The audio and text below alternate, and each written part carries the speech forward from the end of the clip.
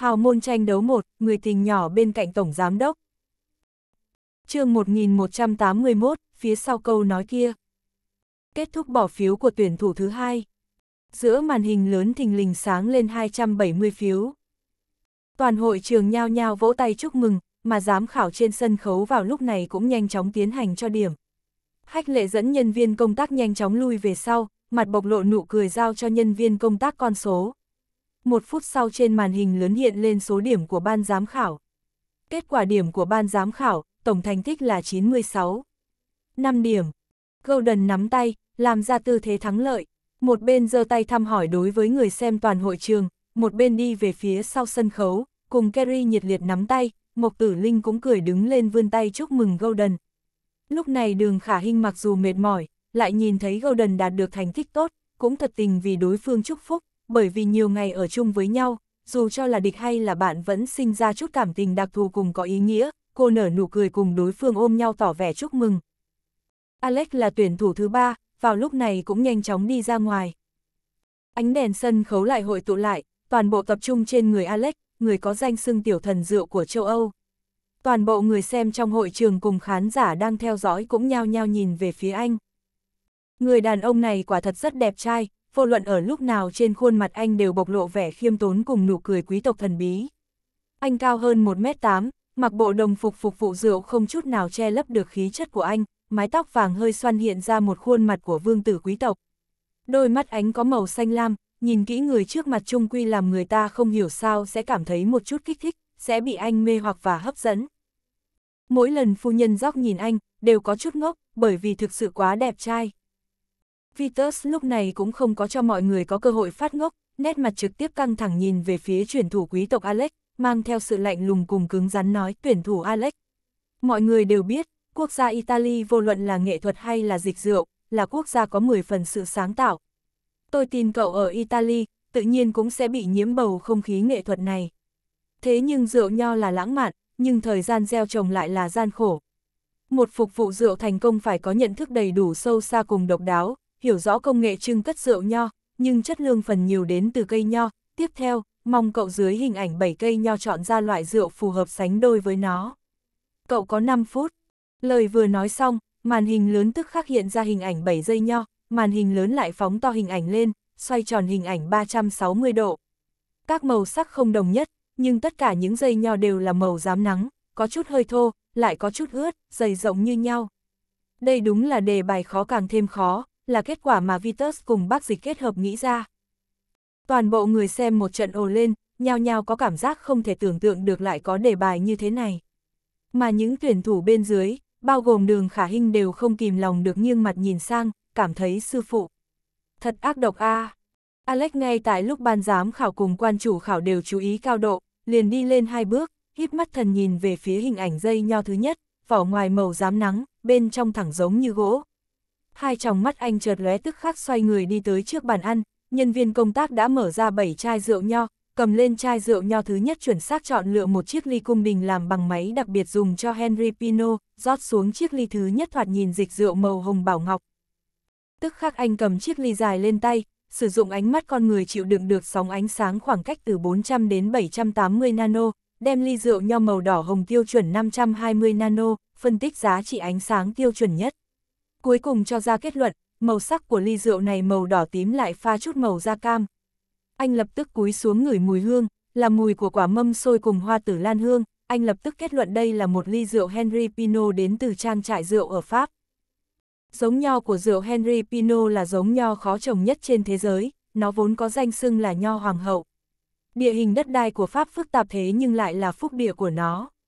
Nhất là ở ở địa hình phức tạp cùng cằn cỗi, dẫn đến rễ cây nho cắm sâu xuống dưới đất, hấp thụ tầng nước sâu dưới vỏ trái đất, làm cho cây nho càng ngày càng khỏe mạnh nhờ địa hình đặc thù.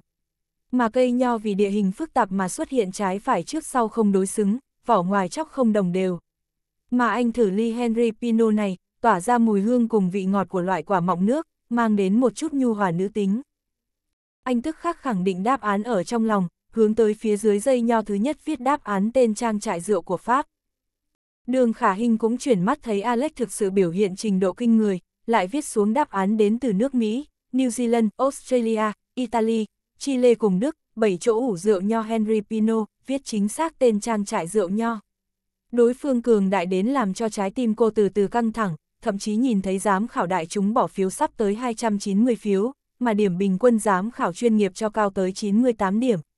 Tổng thành tích là 97, 6 điểm, mồ hôi lạnh của cô từ từ chảy xuống, tựa hồ có thể rõ ràng cảm thấy mình có khả năng trở thành người có thành tích thấp nhất trong trận thi đấu này. Hai tròng mắt của cô nhanh chóng lưu chuyển, nuốt khan nơi cổ họng, tự hồ cảm giác được giống như Alex đã giành chiến thắng trong tay. Sau đó nhìn Kerry mỉm cười đi ra sân khấu, đối mặt với 20 ly rượu có màu sắc tương tự, cùng 20 gỗ sồi, đi qua thẩm tra đối chiếu phương pháp gỗ sồi để tìm kiếm dịch rượu. Kerry nhanh chóng cầm lên gỗ sồi, bắt đầu ngửi mùi vị, căn cứ vào đó có thể biết được địa hình, phối hợp với phong cách cùng vị đạo của trang trại rượu, lựa chọn từng cái. Đường khả Hinh lập tức nhắm mắt lại không dám nhìn tình hình thi đấu mạnh mẽ của đối phương, chỉ cảm thấy tâm trạng bản than loạn hết cả lên, cái loại phủ định đó biểu hiện chính mình không có tự tin, mặc dù những năng lượng thật sâu mạnh mẽ truyền tới, thiếu chút nữa đem khí lạnh bao phủ chính mình. Bàn tay cô đặt lên chán, cúi đầu xuống ép buộc chính mình tỉnh táo lại, tự hỏi lúc xoay chuyển thế cục, trong đầu không tự chủ nhảy ra câu nói vừa rồi của phu nhân Gióc, cô bé hãy thả lòng, cuộc thi đấu có 30 vị giám khảo, trình độ đều là bậc nhất, lợi dụng trí tuệ cũng như tinh hoa của mỗi người sẽ cho cô một phán đoán chính đáng. Cô có một ít thành tích, có người tán thưởng ắt sẽ có người phủ định. Đây là thế giới rộng lớn. Về phần tôi vì sao phải chấm 85 điểm, tôi nghĩ, tôi cùng với Vitus tiên sinh có chung ý nghĩ. Cô vừa nhắc tới, rượu nho Pháp lên men bình thường trong thùng gỗ, đáp án này cũng không sai, thế nhưng cho đến ngày nay, một số trang trại rượu nho ở Pháp lợi dụng inox lên men rượu nho. Tôi tin, lấy trí tuệ của cô, cô hẳn là biết đến, cũng là rất hiểu. Thế nhưng ở câu trả lời ngắn gọn vừa rồi, cô vẫn như cũ lặp lại những vấn đề sai lầm của cuộc tranh tài xâm panh. Cô phải hiểu được, cho các cô có năng lực tổ chức ra một sân khấu lớn, không phải để cho các cô biểu đạt ôm ấp tình cảm đơn giản như vậy. Phóng đại là vì chính xác, mà không phải là vì xem nhẹ. Sau đó, phu nhân gióc khẽ nhếch môi, ban đầu có một đoạn tiếng Anh, đợi hỏi Á Lạc phiên dịch cho cô. Lúc này Mộc Tử Linh đã bước ra, vẻ mặt bộc lộ nụ cười đáng yêu sáng lạn đúng chất phụ nữ Nhật Bản, đối với người xem trong hội trường cúi xuống chào một cái, thi đấu bắt đầu. Cô phải sử dụng khứu giác của mình uống 10 heo y nước suối đến từ các núi tuyết khác nhau trên thế giới, sau đó uống ly rượu whisky trước mặt, tìm ra hương vị rượu tương đồng với khoáng chất. Đường khả hình bắt đầu ấn tai nghe xuống tai, do hỏi Á Lạc, phu nhân dóc nói câu kia có ý tứ gì, cô có chút không rõ. Á Lạc ở phía sau nghĩ lại một chút, lúc này mới nhanh chóng nói cho đường khả hình biết ý tứ câu nói của phu nhân dóc. Đường khả hình nghe xong, hai tròng mắt lập tức sáng ngời, cả người giống như chạy đến một loại cảm giác mãnh liệt, tinh thần kích động, sinh mệnh như tìm được một điểm tựa chuẩn bị chạy đi. Hai tròng mắt ngấn lệ, hiểu rõ sư phụ cho 85 điểm, một là vì biểu hiện của cô không tốt, hai là bởi vì sư phụ có lời muốn nói với mình, đành phải lợi dụng cơ hội này, để phu nhân dốc thiện ý nhắc nhở mình. Trong lòng cô lập tức tăng tràn khí thế ngẩng đầu, hai tròng mắt mãnh liệt nhìn về phía một tử linh kia vóc người duyên dáng yêu kiều, tương tự như mình, thế nhưng vô luận giống nhau có tương tự nhau như thế nào thế nhưng hương vị rượu nho lại có thể khác nhau do được trồng ở những vùng đất khác nhau. Thậm chí nước Pháp có thể chia ra những vùng đất trồng nho tốt nhất, chính mình hướng về phía mọi người mở ra một sự thật cùng chân. Chính là vô luận rượu nhau của bất kỳ một quốc gia nào trên thế giới, nhưng địa hình đất đai của bọn họ, lịch sử của bọn họ, tất cả những gì bọn họ có, vẫn như cũng nắm chặt châu Âu, còn át chủ bài của cả thế giới. Mục tử linh hoàn Mỹ tiến hành thi đấu xong, đạt được 97 điểm, vẻ mặt lúc này mới bộc lộ vẻ tươi cười nhìn về phía bộ dáng phát ngốc của đường khả hình.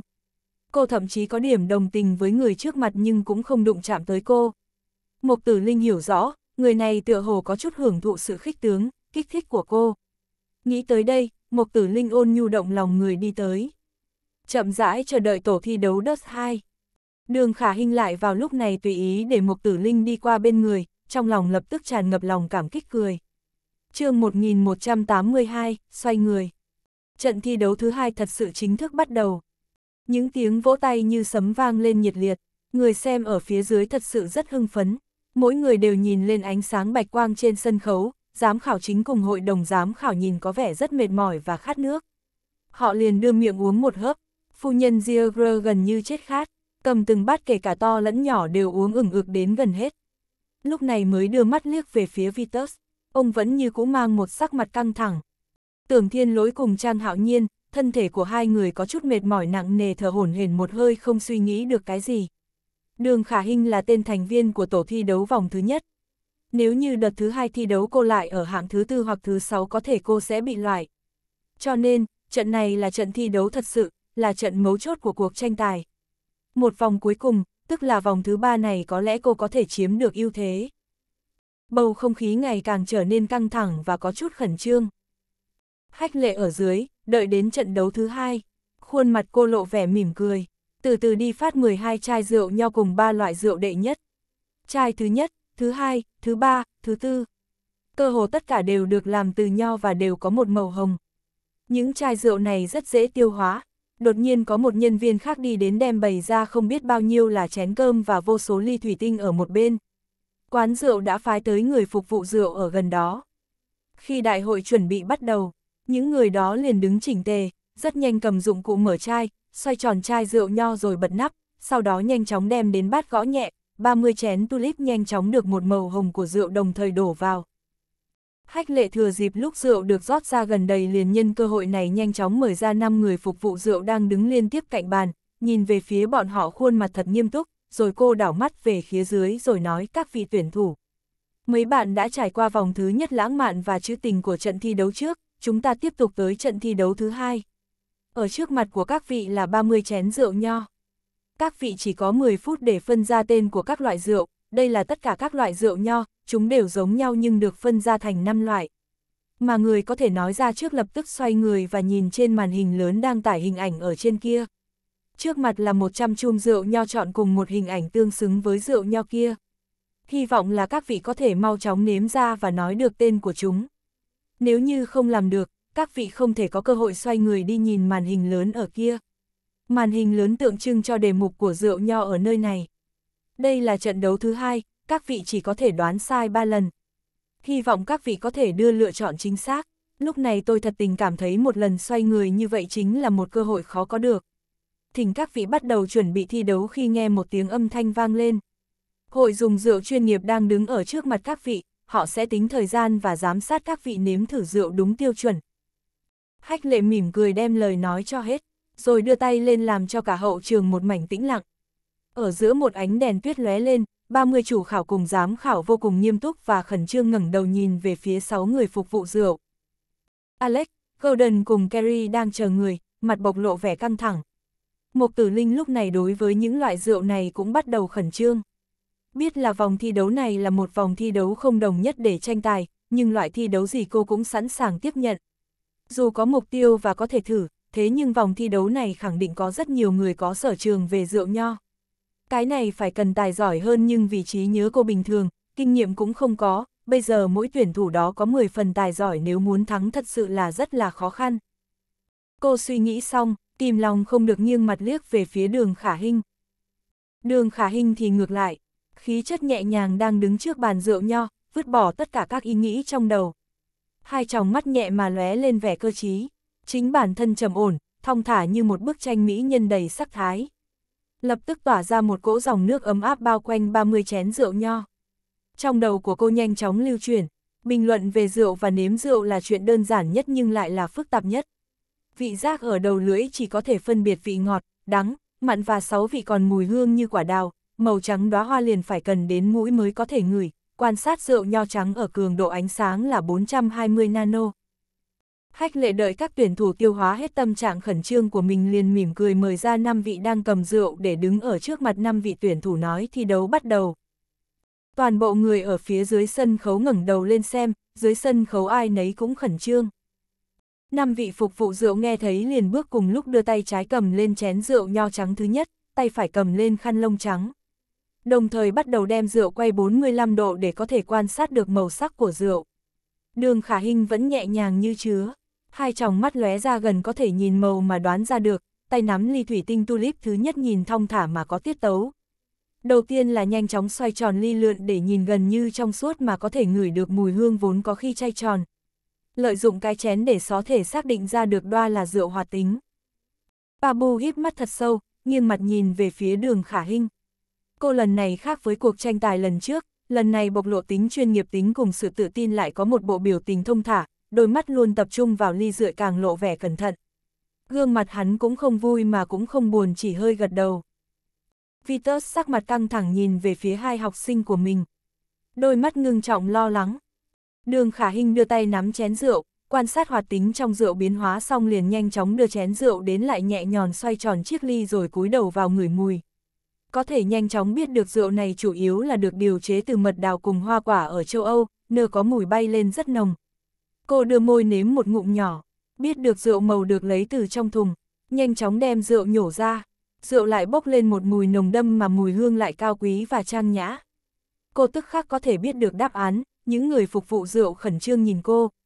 Cô liền đem câu nói của mình nói ra nhanh nhất, đây là một loại rượu đến từ hồ có cây mơ được trồng vào mùa hạ năm 2007. Có cả tinh chất của châu Âu và mật vị mật đào. Nhưng người bình luận rượu nhìn cô một cái rồi nhanh chóng ghi lại. Đường khả hình lại nhanh chóng cầm lên chén rượu nho thứ hai. Quan sát màu sắc xanh đậm của chúng, liền biết này loại rượu nho mới được ươm. Trực tiếp xoay tròn chén rượu rồi nói tiếp, đây được làm từ vườn nho trong sơn cốc Raoul ở nước Mỹ. Loại này cách Thái Bình Dương được 3 km, cho nên những loại rượu này được làm rất không thần trọng. Những loại rượu chủ yếu này là lợi dụng những con vi khuẩn nguyên sinh lệ men ở trong thùng gỗ. Chúng có rất nhiều vị êm dịu như cam quýt, vào năm 2008. Những lời này cô vừa nói ra, giám khảo chính cùng hội đồng giám khảo lập tức ngẩng đầu nhìn về phía cô gái Trung Quốc này. Biết là thi đấu tính theo thời gian trong quá trình nếm thử.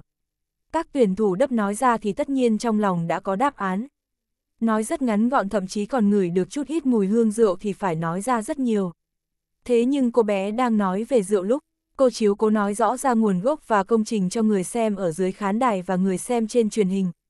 Chủ ý là muốn nói rõ và tuyên truyền cho mọi người. Đây là phẩm chất tốt đẹp mà khó có ai có thể làm được.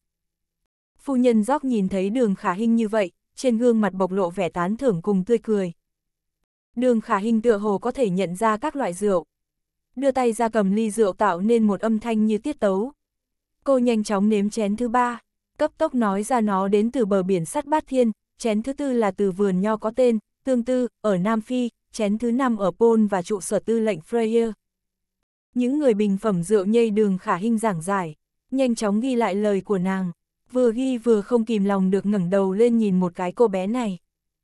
Tất cả người phục vụ rượu nho đã cầm lên nếm, nhanh chóng nói ra những loại rượu nho rất giống với lời cô nói. Kerry cùng Mộc Tử Linh thoáng qua tí sợ hãi, cảm giác như 30 chén rượu kia có rất nhiều mùi hương mà các loại này lại không giống nhau khiến người ta trở nên mù quáng. Nhất là Mộc Tử Linh, mặc dù khứu giác của cô là thế mạnh như tính cách của cô phương diện không ổn định.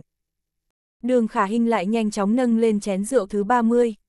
Cúi mặt nhẹ ngửi mùi rượu kia nhận ra đó là vị chanh còn có lông dê. Cô nhẹ nhàng thả xuống, tức khắc khẳng định nói, đây là rượu nho tự tô đặc vào năm 2006. Màu sắc diễm lệ màu rành kim, ở dưới chân rượu có dính một chút trù, tràn đầy hương khí của miền Nam phong tình, nó trầm ổn mà êm dịu, cùng với vị ngọt đạt tới sự hoàn mỹ. Không hoảng hốt, ngôn ngữ nói ra từ từ không nhanh cũng không chậm, mà còn lộ ra tiếng ngọt ngào mà tự tin, lướt nhẹ ở toàn bộ sân khấu hiện tiện tại, toàn bộ đông đảo người xem còn có giám khảo cùng quan chủ khảo. Mỗi người bắt đầu vô ý thức buông thả sự khẩn trương trong lòng để nghe vị tuyển thủ đang chuyên tâm đọc đáp án. Đối với người yêu thích loại rượu nho, với giọng nói ngọt ngào êm tai và đọc đầy diễn cảm đương nhiên khiến người ta rất thích. Đường khả hình lại nhanh chóng cầm lên chén rượu nho thứ 27.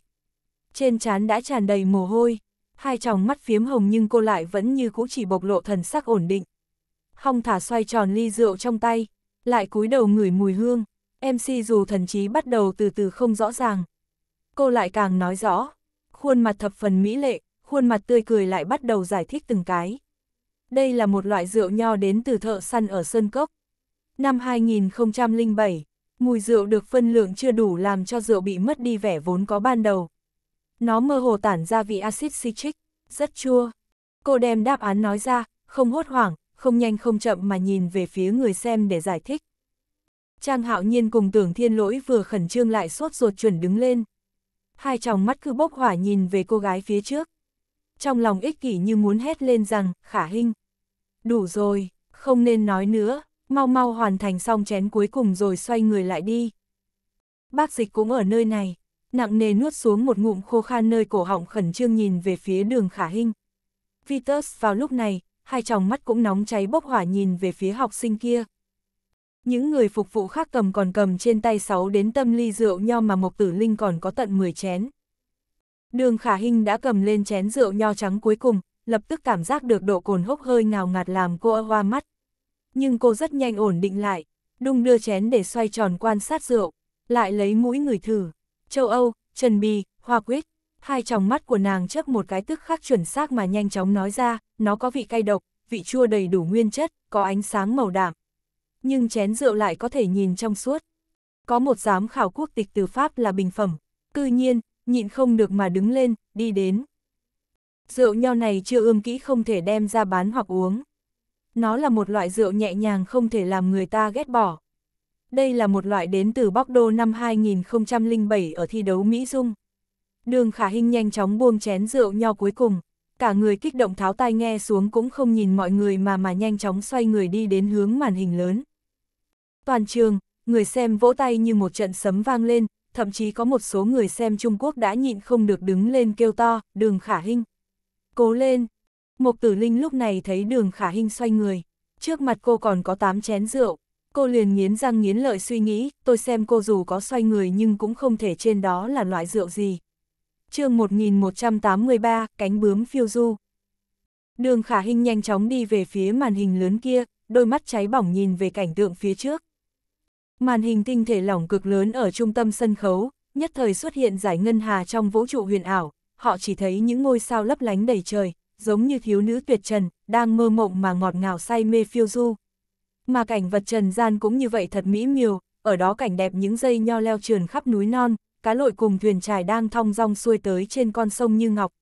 Người lái đò kích động ngẩng lên ngắm nhìn đỉnh núi, mà vào lúc này từ trong cảnh sắc mỹ miều mộng ảo đột nhiên một cành nho vươn ra giống như tay thầy tế lễ, đầy lòng biết ơn đối với món quà của thần rượu nho.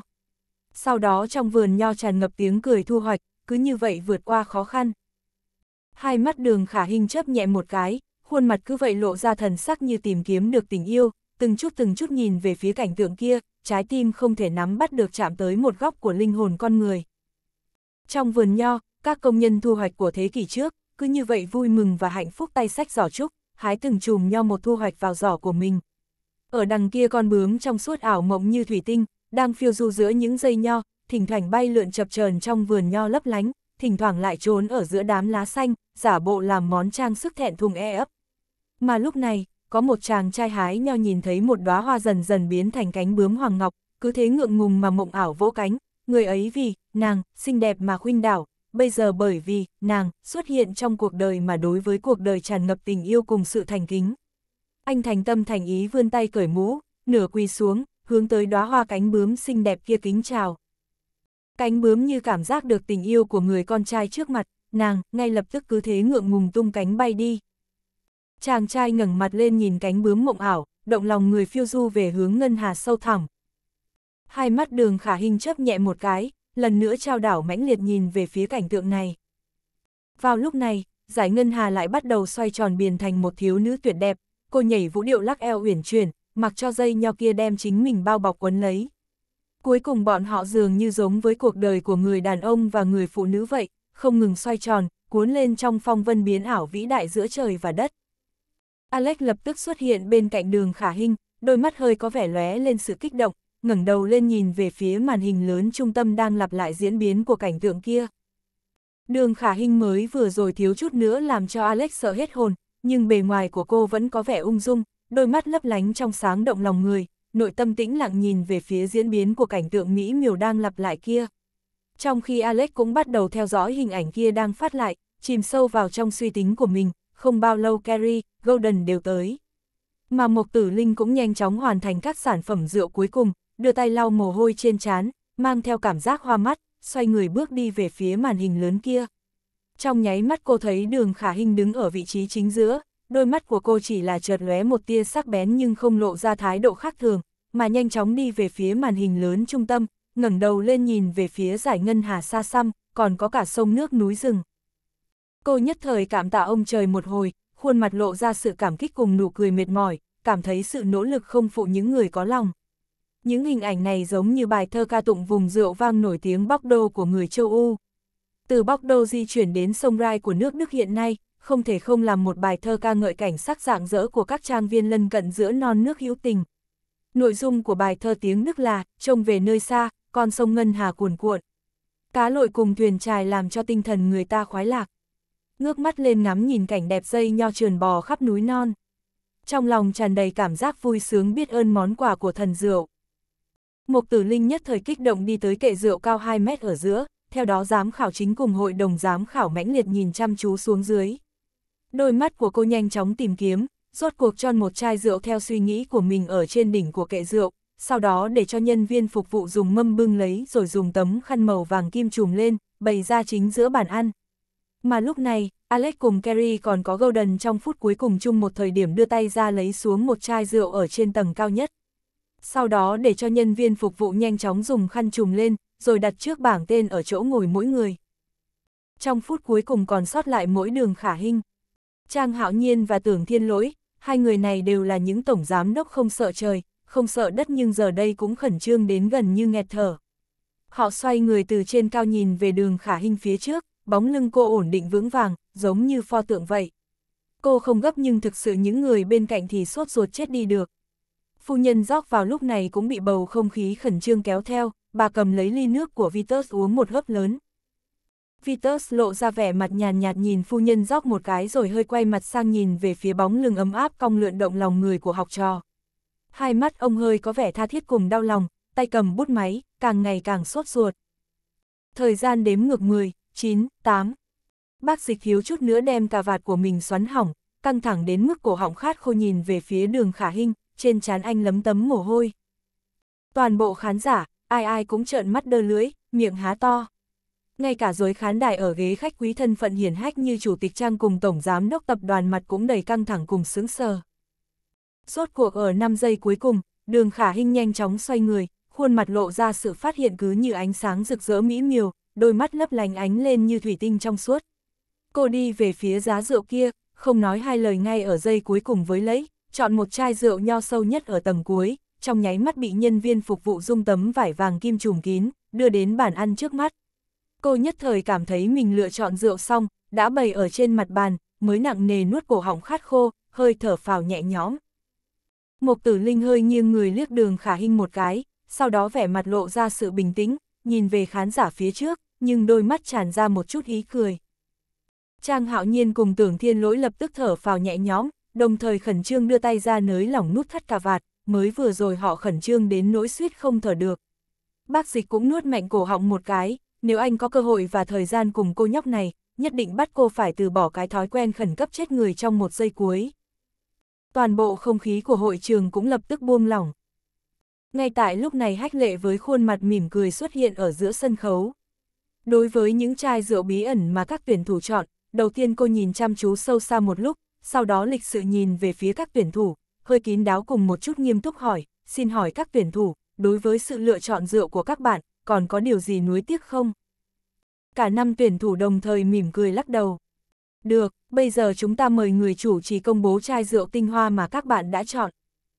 Hách lệ vừa nói xong liền xoay người mời người chủ trì ở trên sân khấu lớn mở tấm khăn phủ vàng kim. Người chủ trì lúc này lập tức lộ ra khuôn mặt tươi cười ngay trước mấy nghìn người xem cùng đoàn giám khảo đối diện, vươn tay ra trước tiên mở lượt thứ nhất của nhóm tranh tài chai rượu nho của Alex.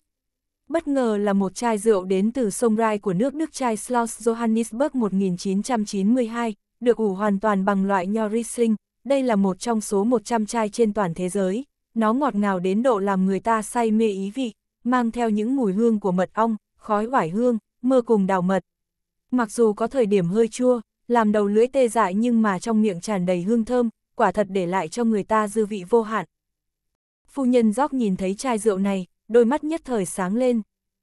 Hách lệ lại tiếp tục cùng những giám khảo mặt nghiêm túc, tiết lộ chai thứ hai, chai thứ ba, chai thứ tư, bao gồm cả sự lựa chọn của Mộc Tử Linh, tất cả đều là rượu băng Schloss Johannesburg Riesling.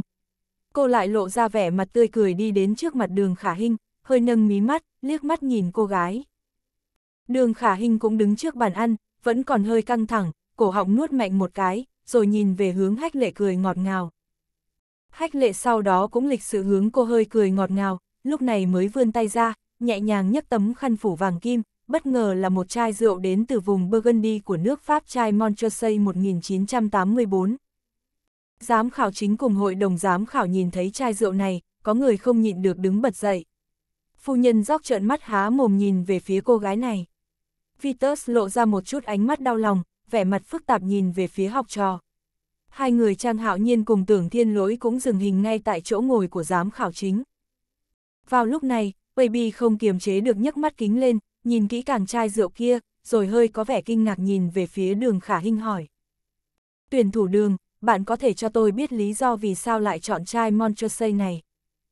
Đường khả hinh lập tức hơi xoay người, ở giữa ánh mắt kinh ngạc của các chuyên gia hầu rượu khác, nhìn về phía Baby nhanh chóng giải thích. Chính xác, mới vừa rồi bài thơ kia tựa như miêu tả lâu đài Johannesburg non sông gấm vóc của nước Đức, nhưng hai câu cuối của bài thơ là chỉ thấy dây nho len lỏi đến nhà hát tự nhiên. Trong vườn thu hoạch nho, tiếng reo hò vang vọng khắp mây đêm.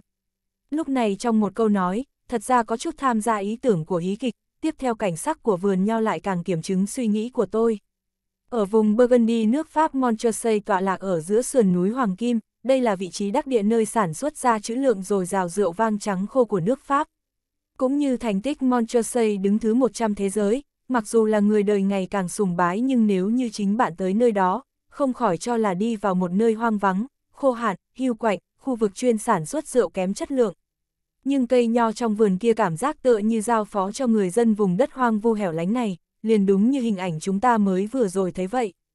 Vườn nho bên ngoài tường rào, rõ ràng lộ ra hàng rào ngắn màu trắng, rào chắn kia ở giữa bóng cây, cũng thanh tịnh minh bạch rõ ràng. Mà điểm mấu chốt nhất chính là, trong một thời gian rất dài Montreuil đã từng bị người lầm tưởng nó là không màu hơn nữa còn trong suốt. Nhưng trong thực tế, dịch rượu chuyển từ màu xanh xanh của kim loại đến ánh sáng của hoàng ngọc. Mới vừa rồi trong hình cánh bướm kia phiêu du, thật ra thì màu sắc cũng là từ trong suốt chuyển sang màu vàng trong suốt của đá quý. Phu nhân dóc không nhẫn nại được hỏi. Trên thế giới có vô số các loại rượu vang trắng, cũng có một loại rượu vang trắng khác giống như Montrosey thay đổi màu sắc, làm sao bạn chắc chắn đây chính là Montrosey.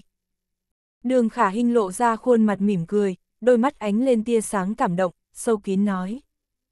Bí mật kia vẫn còn ấn dấu ở trong cánh bướm, cánh bướm kia tượng trưng cho dịch rượu, vừa phiêu du bay lượn thỉnh thoảng lại ẩn núp ở giữa đám lá nho, hơi có vẻ ngượng ngùng mà vỗ cánh.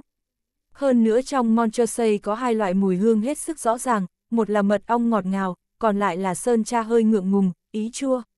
Cuối cùng, câu trả lời chính xác cho thời khắc này là, nhà văn nổi tiếng thế giới Duy ma đã từng kích động mạnh viết, trong lúc uống Montreuil, chúng ta nên quỳ gối, một tay cầm mũ, một tay cầm ly, nhưng điều tiếc nuối là, Duy ma trong đoạn cuối, trà hoa nữ cuối cùng không thể vì Montreuil ghi lại mấy câu nói, để cho nó trở thành sự tiếc nuối. Cho nên mới có hình ảnh cuối cùng cánh bướm phiêu du hướng về các vì sao. Trời ơi, phu nhân dóc cuối cùng không thể kiềm chế được kích động nhìn về phía cô gái này, cười rộ lên. Khán đài mấy nghìn khán giả lúc này cũng xôn xao, màn hình lớn trung tâm quả nhiên hiện lên một chai rượu đến từ năm 1984 Montreuil. Chai rượu quý giá kia, được bao quanh bởi các loại hoa, nó thật sự cao quý. Oanh, toàn bộ khán giả nhất thời kịch liệt vỗ tay vang như sấm. Mà tất cả giám khảo cũng vào lúc này, ngay lập tức nổ đèn ủng hộ cô gái này, không biết tại sao, cô ở trong lòng tất cả các giám khảo có phần ấn tượng cực kỳ cao. Khuôn mặt đường khả hình lộ ra nụ cười mệt mỏi nhưng cảm động, nhìn về phía toàn bộ khán giả. Tất cả giám khảo nhao nhao mỉm cười vì đường khả hình tiến lên thành cao thủ thứ 98, điểm số của cô từ thấp nhất, thẳng tắp vọt lên thành đứng đầu.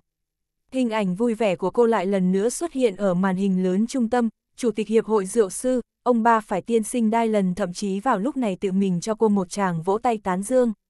Bởi vì cô tinh tế, chính xác, quan sát tỉ mỉ, quả thật là đủ tư cách dòm ngó ngôi vị vô địch chuyên gia hầu rượu hàng đầu thế giới. Nhưng vào lúc này, Mộc Tử Linh thấy bởi vì đường khả hình trực tiếp vọt lên hạng nhất, mà sự cố gắng sinh tồn của mình bị dồn xuống thứ tư, trong nháy mắt mặt cô tái nhợt, tay không nhịn được đưa lên cổ, cảm giác được lễ vật nhỏ chất lượng đêm qua, chắc chắc sẽ có ích nếu bản thân muốn tranh giải chương 1184, Thời gian chi môn Vòng thi thứ ba mù phẩm của trận thi đấu sắp bắt đầu. Đường khả hình lại lấy tư thái hắc mã nhảy tới đệ nhất danh, người xem toàn hội trường lập tức sôi trào, cũng khiến cho các tinh anh trên thế giới cùng trang chủ kịch liệt thảo luận, lại trải qua một hồi mù phẩm thi đấu sự, là có thể quyết định xuất thế giới tiền tam giáp danh sách đứng đầu phục vụ rượu. Hội trưởng chuyên gia hầu rượu Duran mặt bộc lộ biểu tình nghiêm túc đứng lên, cùng đái lập duy thần bí nói chuyện gì đó, mà các giám khảo chính cùng hội đồng giám khảo thì cũng nhao nhao làm cho thời khắc này kích động. Bàn về trận thi đấu sau đó, các tuyển thủ đã trở lại hậu trường, nghỉ ngơi 20 phút để khôi phục vị giác cùng khứu giác, nhân viên công tác thì bận bận rộn rộn, đem giá rượu nho giá từ từ đẩy tới vũ giữa đài, lại thần bí dùng vải vàng dòng che phủ ở rượu giá, hách lệ thì nắm chắc thời gian mệnh lệnh cho nhân viên công tác đem vô số ly thủy tinh giá trị xa xỉ bày đặt ở trên bàn được trải khăn trắng, vòng thi thứ ba mù phẩm của trận thi đấu, đem tất cả phục vụ rượu giữa trận thi đấu lớn, phẩm rượu quy cách tối cao, tính khiêu chiến mạnh nhất của trận thi đấu. Các tuyển thủ phải trải qua vòng thi đấu này, mới có tư cách tiến vào vị trí thứ ba, nhòm ngó ngồi báu quán quân trận chung kết. Nghe nói tình hình đặc biệt lúc ấy sẽ có khách quý thần bí cùng kinh thế rượu đỏ xuất hiện. Lúc này, chủ tịch giám khảo cùng giám khảo chính mọi người vẫn như cũ nhao nhao trò chuyện với nhau, hiện trường chung, chỉ có ba người cực kỳ không bình tĩnh. Ba người trang hạo nhiên cùng tưởng thiên lỗi, còn có bác dịch, căng thẳng thần tình, nặng nề thở dốc ngồi ở chỗ ngồi, nhớ tới chỉ cần đường khả hình biểu hiện tốt, không ra lầm lỗi, cố gắng giành vị trí thứ ba trong trận thi đấu, là có thể nhẹ nhõm tiến vào tổng trận chung kết. Như vậy, cách trương ủy viên cùng thủ tướng, còn có kế hoạch của mọi người, lại gần một bước. Chỉ thiếu chút nữa, là có thể rảo bước tiến lên trận chung kết. Trang hạo nhiên hai tròng mắt lóe ra ánh sáng kịch liệt, tay cầm bút máy, gần như muốn bẻ gãy, trầm thở dốc, hơi có vẻ khẩn trương nói, thiên lỗi, cảm ơn anh. Tưởng thiên lỗi lúc này cũng đang khẩn trương, nghe thấy Trang hạo nhiên gọi mình, anh hơi ngưng mặt nghi ngờ nhìn về phía cậu ta. Trang hạo nhiên nhìn hiện trường nhân viên công tác vẫn như cũ bận bận rộn rộn, nội tâm của anh lại thật lâu không thể yên lặng, trận trận phiên giang đảo hải mạch suy nghĩ, không ngừng nhớ lại đến nay tất cả các bí mật của tưởng gia đã điều tra được, anh mặt có mấy phần kiềm chế cùng cảm xúc, từng chữ từng chữ yếu ớt nói cảm ơn anh vào lúc này, ngồi ở bên cạnh tôi, cùng tôi hoàn thành một việc. Tưởng thiên lỗi hai tròng mắt lóe lên, mặt cũng bộc lộ một chút cảm xúc, lại theo thói quen lạnh lùng nhìn về phía Trang Hạo Nhiên, thanh âm trầm thấp nói, không cần khẩn trương. Cũng không cần thay khả hình khẩn trương, cô ấy thật rất tốt. Tưởng thiên lỗi là hiểu Trang Hạo Nhiên. Trang Hạo Nhiên hai tròng mắt nóng cháy lóe ra, trên mặt bộc lộ biểu tình đau lòng, nhớ tới đường khả hình vừa ở trên khán đài có biểu hiện xuất sắc, trong lòng anh tuy tự hào, nhưng vẫn là lo lo lắng lắng nói, không biết khả hình, hiện tại đang làm gì, cô ấy lúc này nhất định rất không bình tĩnh. Tưởng thiên lỗi nghe lời này, mặt cũng bộc lộ biểu tình ngưng chặt, nặng nề thở dốc nhìn về phía trước. Sau sân khấu khu nghỉ ngơi của phục vụ rượu, vô số nhân viên công tác vì sau trận thi đấu lớn thẩm tra đối chiếu danh sách cùng sự việc, ra ra vào vào, thỉnh thoảng xẹt qua cửa phòng nghỉ của tuyển thủ đường khả hình, chỉ thấy cổng hoa màu trắng sữa đóng thật chặt, không có một chút tiếng động, cánh cửa của các phục vụ rượu khác, cũng thần bí mà đóng chặt.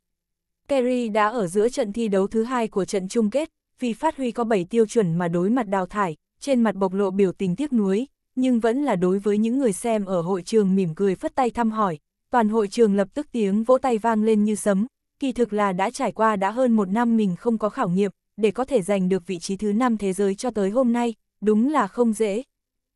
Trong phòng nghỉ ngơi phong cách kiểu Âu xa hoa, bên cửa sổ để ghế dựa màu tím sậm, trên tường là danh họa thế giới, bên trong có bình sứ cao hoa, được cắm chính là lông chim công tôn quý, bốn ghế sofa màu đỏ được bày đặt trong sảnh chính, một bó hoa sơn trà màu đỏ tươi, cứ như vậy cắm ở lam đĩa trung tuyến, nở rộ trông thật đẹp. Đường khả Hinh ngồi trên ghế sofa đỏ không nhúc, mặt phẳng phất bộc lộ thần thái yên lặng thật lâu, ngưng thật sâu nhìn về phía bó hoa sơn trà màu đỏ tươi tỏa ra hương thơm trước mặt này, hai tròng mắt dâng lên một tầng hơi nước, rốt cuộc theo thi đấu tới gần, cô mới nặng nề thở dốc, tự mình kiềm chế muôn vàn cảm xúc, nhìn về phía kia đóa hoa sơn trà kia, yếu ớt nghẹn ngào nói, cha. Hiện tại cũng chỉ có người mới có thể làm cho con bình tĩnh. Nhân sinh có đếm không hết tuyển trạch, có đếm không hết khảo nghiệm, người lúc này có thể hiểu được lòng con gái, đúng hay không? Cô bé này hai tròng mắt tràn đầy ánh lệ, dường như còn có thật nhiều lời muốn nói với phụ thân, vào thời khắc này thiên ngôn vạn ngữ đều nuốt ở nơi cổ họng, minh bạch ở sinh mệnh nghiêm túc khảo nghiệm trước mặt, nói nhiều hơn nữa cũng vô dụng. Khuôn mặt của cô ngưng chặt, ép buộc chính mình bình tĩnh trở lại, lợi dụng khí thế từ từ hình thành, chậm rãi hội tụ ở trên người của mình, hai tròng mắt càng lúc càng nóng cháy, càng lúc càng nóng cháy ngưng nhìn về phía bó sơn trà màu đỏ tươi kia, cắn chặt răng, thanh âm cuối cùng run rẩy nghẹn ngào khàn khàn nói, người yên tâm, con sẽ cố gắng. Câu nói kia, dường như mang theo khí thế càng lúc càng mãnh liệt, cởi bỏ muôn vàn trói buộc, tiến thẳng thế gian. Trong một gian phòng nghỉ ngơi khác, một Tử Linh mặt bộc lộ biểu tình căng thẳng, đứng ở trước gương, hai tròng mắt chiết xạ luồng ánh sáng ác hận, nặng nề thở dốc nhìn về phía chính mình yêu kiều duyên dáng trong gương, cô từng là người cực kỳ thiên phú, trong nhà đều được mọi người sủng ái, nếu như không phải là bởi vì mình, gia tộc thất bại, căn bản là không cần sợ hãi đường khả hình, cô thở dốc, nhớ tới vòng thi thứ hai của trận thi đấu, đường khả hình biểu hiện xuất sắc, cô lại một cỗ hận, nhẹ tay cầm lấy cổ áo sơ mi, rốt cuộc buông lỏng ra cúc áo. Đem lễ vật đêm qua thu được, cẩn thận từng ly từng tí lấy ra. Kia rõ ràng là chìa khóa vòng cổ thật giống như hạt gạo nhỏ. Mộc tử linh mặt rốt cuộc bộc lộ biểu tình đắc ý cùng nụ cười tàn nhẫn, lấy xuống vòng trên cổ, ngón tay nắm chìa khóa bạch kim cỡ nhỏ, dừng ở trên bụng ngón trỏ, mi tâm của cô hơi nhíu lại, mặt bộc lộ nụ cười đắc ý, nói, đường khả hình. Tôi xem cô lần này, còn có thể hay không ở trước mặt mọi người, thắng một điểm tiếng vỗ tay. Tôi muốn cô nếm thử ở trên sân khấu, chạm được càng cao, ngã xuống tư vị có bao nhiêu nặng. Hừ, Mộc tử linh nắm chặt vòng cổ, mặt lại bộc lộ kia nụ cười đắc ý, nhìn về phía trước. Giữa khán đài vang lên âm nhạc kích động lòng người, lúc này 9.990 ly đèn thủy tinh thay thế đèn bạch quang chiết xạ tới, cách trận thi đấu còn có 3 phút, các giám khảo cùng quan chủ khảo nhau nhau an vị, người xem cũng theo khu nghỉ ngơi ngồi trở lại vị trí, thưởng thức vòng thi đặc sắc mà kích thích cuối cùng của trận thi đấu hôm nay, vô số ký giả dơ máy chụp ảnh, chuẩn bị quay chụp. Hách lệ đứng ở giữa khán đài, nhìn nhân viên công tác nhanh chóng bày đặt 300 chỉ ly thủy tinh trên bàn ăn dài 5 mét, mà người xem tại hội trường nhìn một nhóm nhân viên công tác khác một trận ổ lên, trưng bày một ly tháp cao nửa mét, đây là từ trước tới nay, khảo đề mù phẩm khó khăn nhất, đang chọn tay mù phẩm hoàn bách rượu đỏ thấm, hội tiếp thu nhân viên công tác lợi dụng 30 loại pha chế rượu mà thành rượu nho nguyên chất, dọc theo ly tháp từng cái chảy xuống, bốn phục vụ rượu chọn từng ly rượu nho phía dưới từ ly tháp. Phải chính xác nói ra tất cả giống rượu nho bên trong ly. Mà giữa khán đài thời gian cửa đã mở ra, bên trong hiện ra ánh rượu hồng thần bí, người xem ở hội trường đều rất hiếu kỳ. Sân khấu theo các nhân viên công tác chuẩn bị sắp xếp, hách lệ đã được đái lập duy cho phép, cầm trong tay văn kiện, mỉm cười nói cho mời bốn vị phục vụ rượu thuận lợi tấn cấp vòng thứ ba mù phẩm của trận thi đấu. Hội trường tiếng vỗ tay vang lên như sấm. Suốt cuộc, Alex, Golden, Đường Khả Hinh, Mộc Tử Linh mặt bộc lộ tươi cười, từ từ đi tới giữa khán đài, sau 20 phút nghỉ ngơi của bọn họ, mỗi người diện mạo trạng thái tinh thần đều không tệ, cùng nhau nhìn về phía hội trường người xem khẽ gật đầu.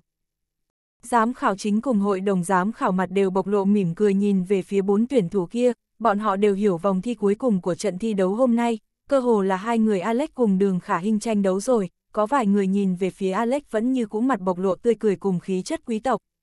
Peters, Trang Hảo Nhiên, Tưởng Thiên Lỗi cùng mọi người, nhao nhao đem ánh mắt phóng đến trên người đường khả hình. Đường khả hình thì vẫn như cũ giống như lên sân khấu thi đấu, mặt bộc lộ biểu tình trầm ổn, cả người khí chất siêu phàm, giống như kim cương, thời khắc này sẽ phải chân chính phát ra ánh sáng. Trang hạo nhiên nhìn về phía đường khả hình như vậy, trên mặt không hiểu hiện lên tự hào tươi cười, mặc dù trái tim vẫn còn là trọng trọng đè nén. Hách lệ vào lúc này, mặt bộc lộ mỉm cười, tay cầm tư liệu, ở một phút đồng hồ cuối cùng tiếp cận trận thi đấu, thời khắc này toàn hội trường yên lặng, cất bước đi tới trước mặt các tuyển thủ, hai tròng mắt ôn nhu xem lướt qua lựa chọn trên tay, mới hơi mang ngữ khí nghiêm túc, nói chúc mừng bốn vị tuyển thủ thuận lợi tấn cấp vòng thứ ba mù phẩm của trận thi đấu. Thời gian thi đấu tiếp theo, thỉnh lựa chọn mạng che mắt trên tay chúng tôi vì các ngài chuẩn bị, còn có tai nghe, lấy trạng thái triệt để mù phẩm, đại hội đã chuẩn bị 100 loại rượu nho hồng đến từ các nơi trên thế giới. Các vị có 20 phút, mỗi ly rượu nho chiếm chia ra, nếu như trả lời sai một câu hỏi, liền khấu trừ chia ra. Tôi thuận tiện nhắc nhở các vị một chút, bên trong có sắp tới có 10 loại rượu kinh điển, mỗi loại đều là do dùng 10 loại giống nho câu bén tiếp cận mà thành. Các vị phải đem dịch rượu nho chung gọi tên mỗi giống nho cùng tỷ lệ phần trăm nói ra. Nếu như các vị ai thuận lợi hoàn thành mù phẩm, là có thể khiêu chiến thêm thụ cấp bậc cao nhất. Các vị có thể nhìn thấy phía sau tôi là ly tháp cao nửa mét, ở đó có 30 loại dịch rượu chảy cuồn cuộn không ngừng, liền hội nguyên đỉnh ly tháp bưng đi xuống, nếu như các vị quyết định tiếp nhận phụ đề khiêu chiến, chúng tôi liền sẽ vì người thủ ly tháp rượu nho phía dưới cho các vị nếm. Nếu như trả lời đúng hoàn toàn, phụ đề sẽ được 20 điểm. Nếu như các vị không tiếp nhận phụ đề khiêu chiến, thì có thể trực tiếp tiến vào cánh cửa thời gian, bên trong có bốn loại rượu đỏ kinh điển rượu. Mỗi loại một chai, các vị có thể ở thời gian bên trong cánh cửa, đem rượu thể tỉnh thật tốt, sau đó lại tự mình đưa đến trước mặt 30 giám khảo, để bọn họ chấm điểm tỉnh rượu cho các vị. Ghi nhớ kỹ trong quá trình này, động tác một mạch hoàn thành, không thể có chút động tác bất lưu sướng. Nếu như tỉnh rượu thể không hợp cách, tối đa sẽ khấu trừ 10 điểm. Hiện nay điểm các vị đều phi thường tiếp cận, cho nên ở sau mỗi đốt, các vị nhất định phải thật cẩn thận. Ở đây, tôi cầu chúc các vị thi đấu thành công. Hiện tại, thi đấu bắt đầu. Hách lệ cười nói xong, tức khắc phân phó đại hội, thi đấu bắt đầu, toàn bộ ánh đèn chói mắt ở hội trường chợt tắt, mở ra ánh sáng cường trụ, toàn bộ chiết xạ trên người ở bốn vị tuyển thủ. chương 1185, đồng ý. Toàn hội trường hoàn toàn yên tĩnh. Hơn 4.000 người xem lúc này toàn bộ đều căng thẳng, con mắt mở to nhìn về phía sân khấu yên tĩnh, chờ đợi khẩn trương sốt ruột dường như có thể nghe thấy tiếng tim đập thình thịch. Có một số người xem Nhật Bản cùng Trung Quốc đều nhao nhao khẩn trương nắm chặt đơn tuyên truyền, mà khách quý Hy Lạp cùng Pháp vào lúc này cũng nghiêm túc, vẻ mặt hơi bộc lộ sự khẩn trương nhìn về phía trước. Hai bên sân khấu, Chủ tịch hội đồng giám khảo cùng các quan chủ khảo cũng đeo mắt kính lên. Cũng có mấy vị giám vì cẩn thận quan sát tình hình thi đấu, cả người cúi xuống trước bàn truyền tin cỡ nhỏ, thế nhưng sắc mặt mỗi người khác nhau, cũng theo 30 giây cuối cùng bắt đầu trận thi đấu, toàn bộ hội trường rốt cuộc bắt đầu có chút trống trải bất an. Bốn vị tuyển thủ chỉnh tề đứng trước bàn ăn, bắt đầu từ từ nổi lên cảm xúc trước khi phẩm rượu, dần dần lợi dụng tư duy của đại não chỉ huy khứu giác cùng vị giác cùng sự nhạy bén của các bộ phận khác. Rốt cuộc 3 phút cuối cùng cũng đến. Bốn nhân viên công tác nhanh chóng thần bí cầm bịt mắt đi ra sân khấu, dùng bịt mắt đen che hết mắt bốn tuyển thủ, lại đeo tai nghe lên tai họ. Một số nhân viên công tác khác lập tức khiêng ra ba giá đựng rượu bằng gỗ lim chứa khoảng 300 chai rượu nho. 20 phục vụ rượu nhanh chóng xuất hiện, lấy tốc độ siêu phàm mở rượu nho ra, lại đem từng chai rót vào gần 300 ly thủy tinh đặt trên bàn ăn. Một nhân viên công tác khác lại nhanh chóng lấy ra 30 bình rượu nho đã mở sẵn, từ từ dơ lên dọc theo tháp ly rót xuống. Nhất thời toàn bộ sân khấu cơ hồ phân tán, có lẽ thô kịch, có lẽ ôn nhu, có lẽ mùi rượu quyến rũ, giống như một loại sắc thái bổ nhào về phía các phục vụ rượu. Golden đứng ở vị trí tối bên cạnh, riêng là người thấy mùi rượu này đều cảm thấy có chút choáng váng. Hách lệ trên mặt bộc lộ vẻ nghiêm túc, hai tròng mắt lợi hại nhìn thấy các phục vụ rượu đã đem 400 chén rượu toàn bộ rót xong, thời gian cho công tác chuẩn bị cũng đã hết, cô hơi nâng mí mắt, liếc lên màn hình lớn một cái theo thời gian hiện lên đọc, 3, 2, 1, cô tức khắc mở miệng nhanh chóng nói, thi đấu bắt đầu. Bốn bình phẩm sư nhanh chóng cầm lên ly rượu thứ nhất trên bàn đưa tới phía trước tuyển thủ mình phụ trách. Alex tiếp nhận ly rượu nho kia, hai mắt bị bịt kín, lại lập tức chuyên nghiệp mà nghiêm chỉnh cúi đầu, nhẹ nếm một chút dịch rượu anh liền nắm chắc hương vị rượu này nói, đây là rượu trái cây vua Baron năm 2000 của Italy.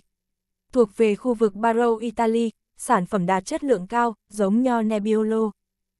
Bình phẩm sư lại tiếp tục đưa lên ly rượu thứ hai màu đỏ hồng cho Alex, anh nhận lấy cúi đầu ngửi thấy hương vị đặc thù của ớt xanh, nhanh chóng nói, là rượu vang đến từ khu vực quý giá Bordeaux nước Pháp, năm 2000. Do 80% Merlot cùng 20% Cabernet Sauvignon sản xuất thành. Bình phẩm sư lại vì Alex mà đưa lên ly rượu thứ ba. Mà phục vụ rượu của Golden cùng Golden bỗng nhiên sau khi trao đổi, trực tiếp nhanh chóng đồng thời cầm lên 10 ly rượu nho, để ông nhanh chóng sử dụng khứu giác mãnh liệt lướt qua ly rượu, một người đàn ông trung niên nhiệt tình của nước Pháp lúc này nghiêm túc mà nhanh chóng nói, rượu trái cây vua Baron năm 2000 của Italy, giống nho Nebbiolo.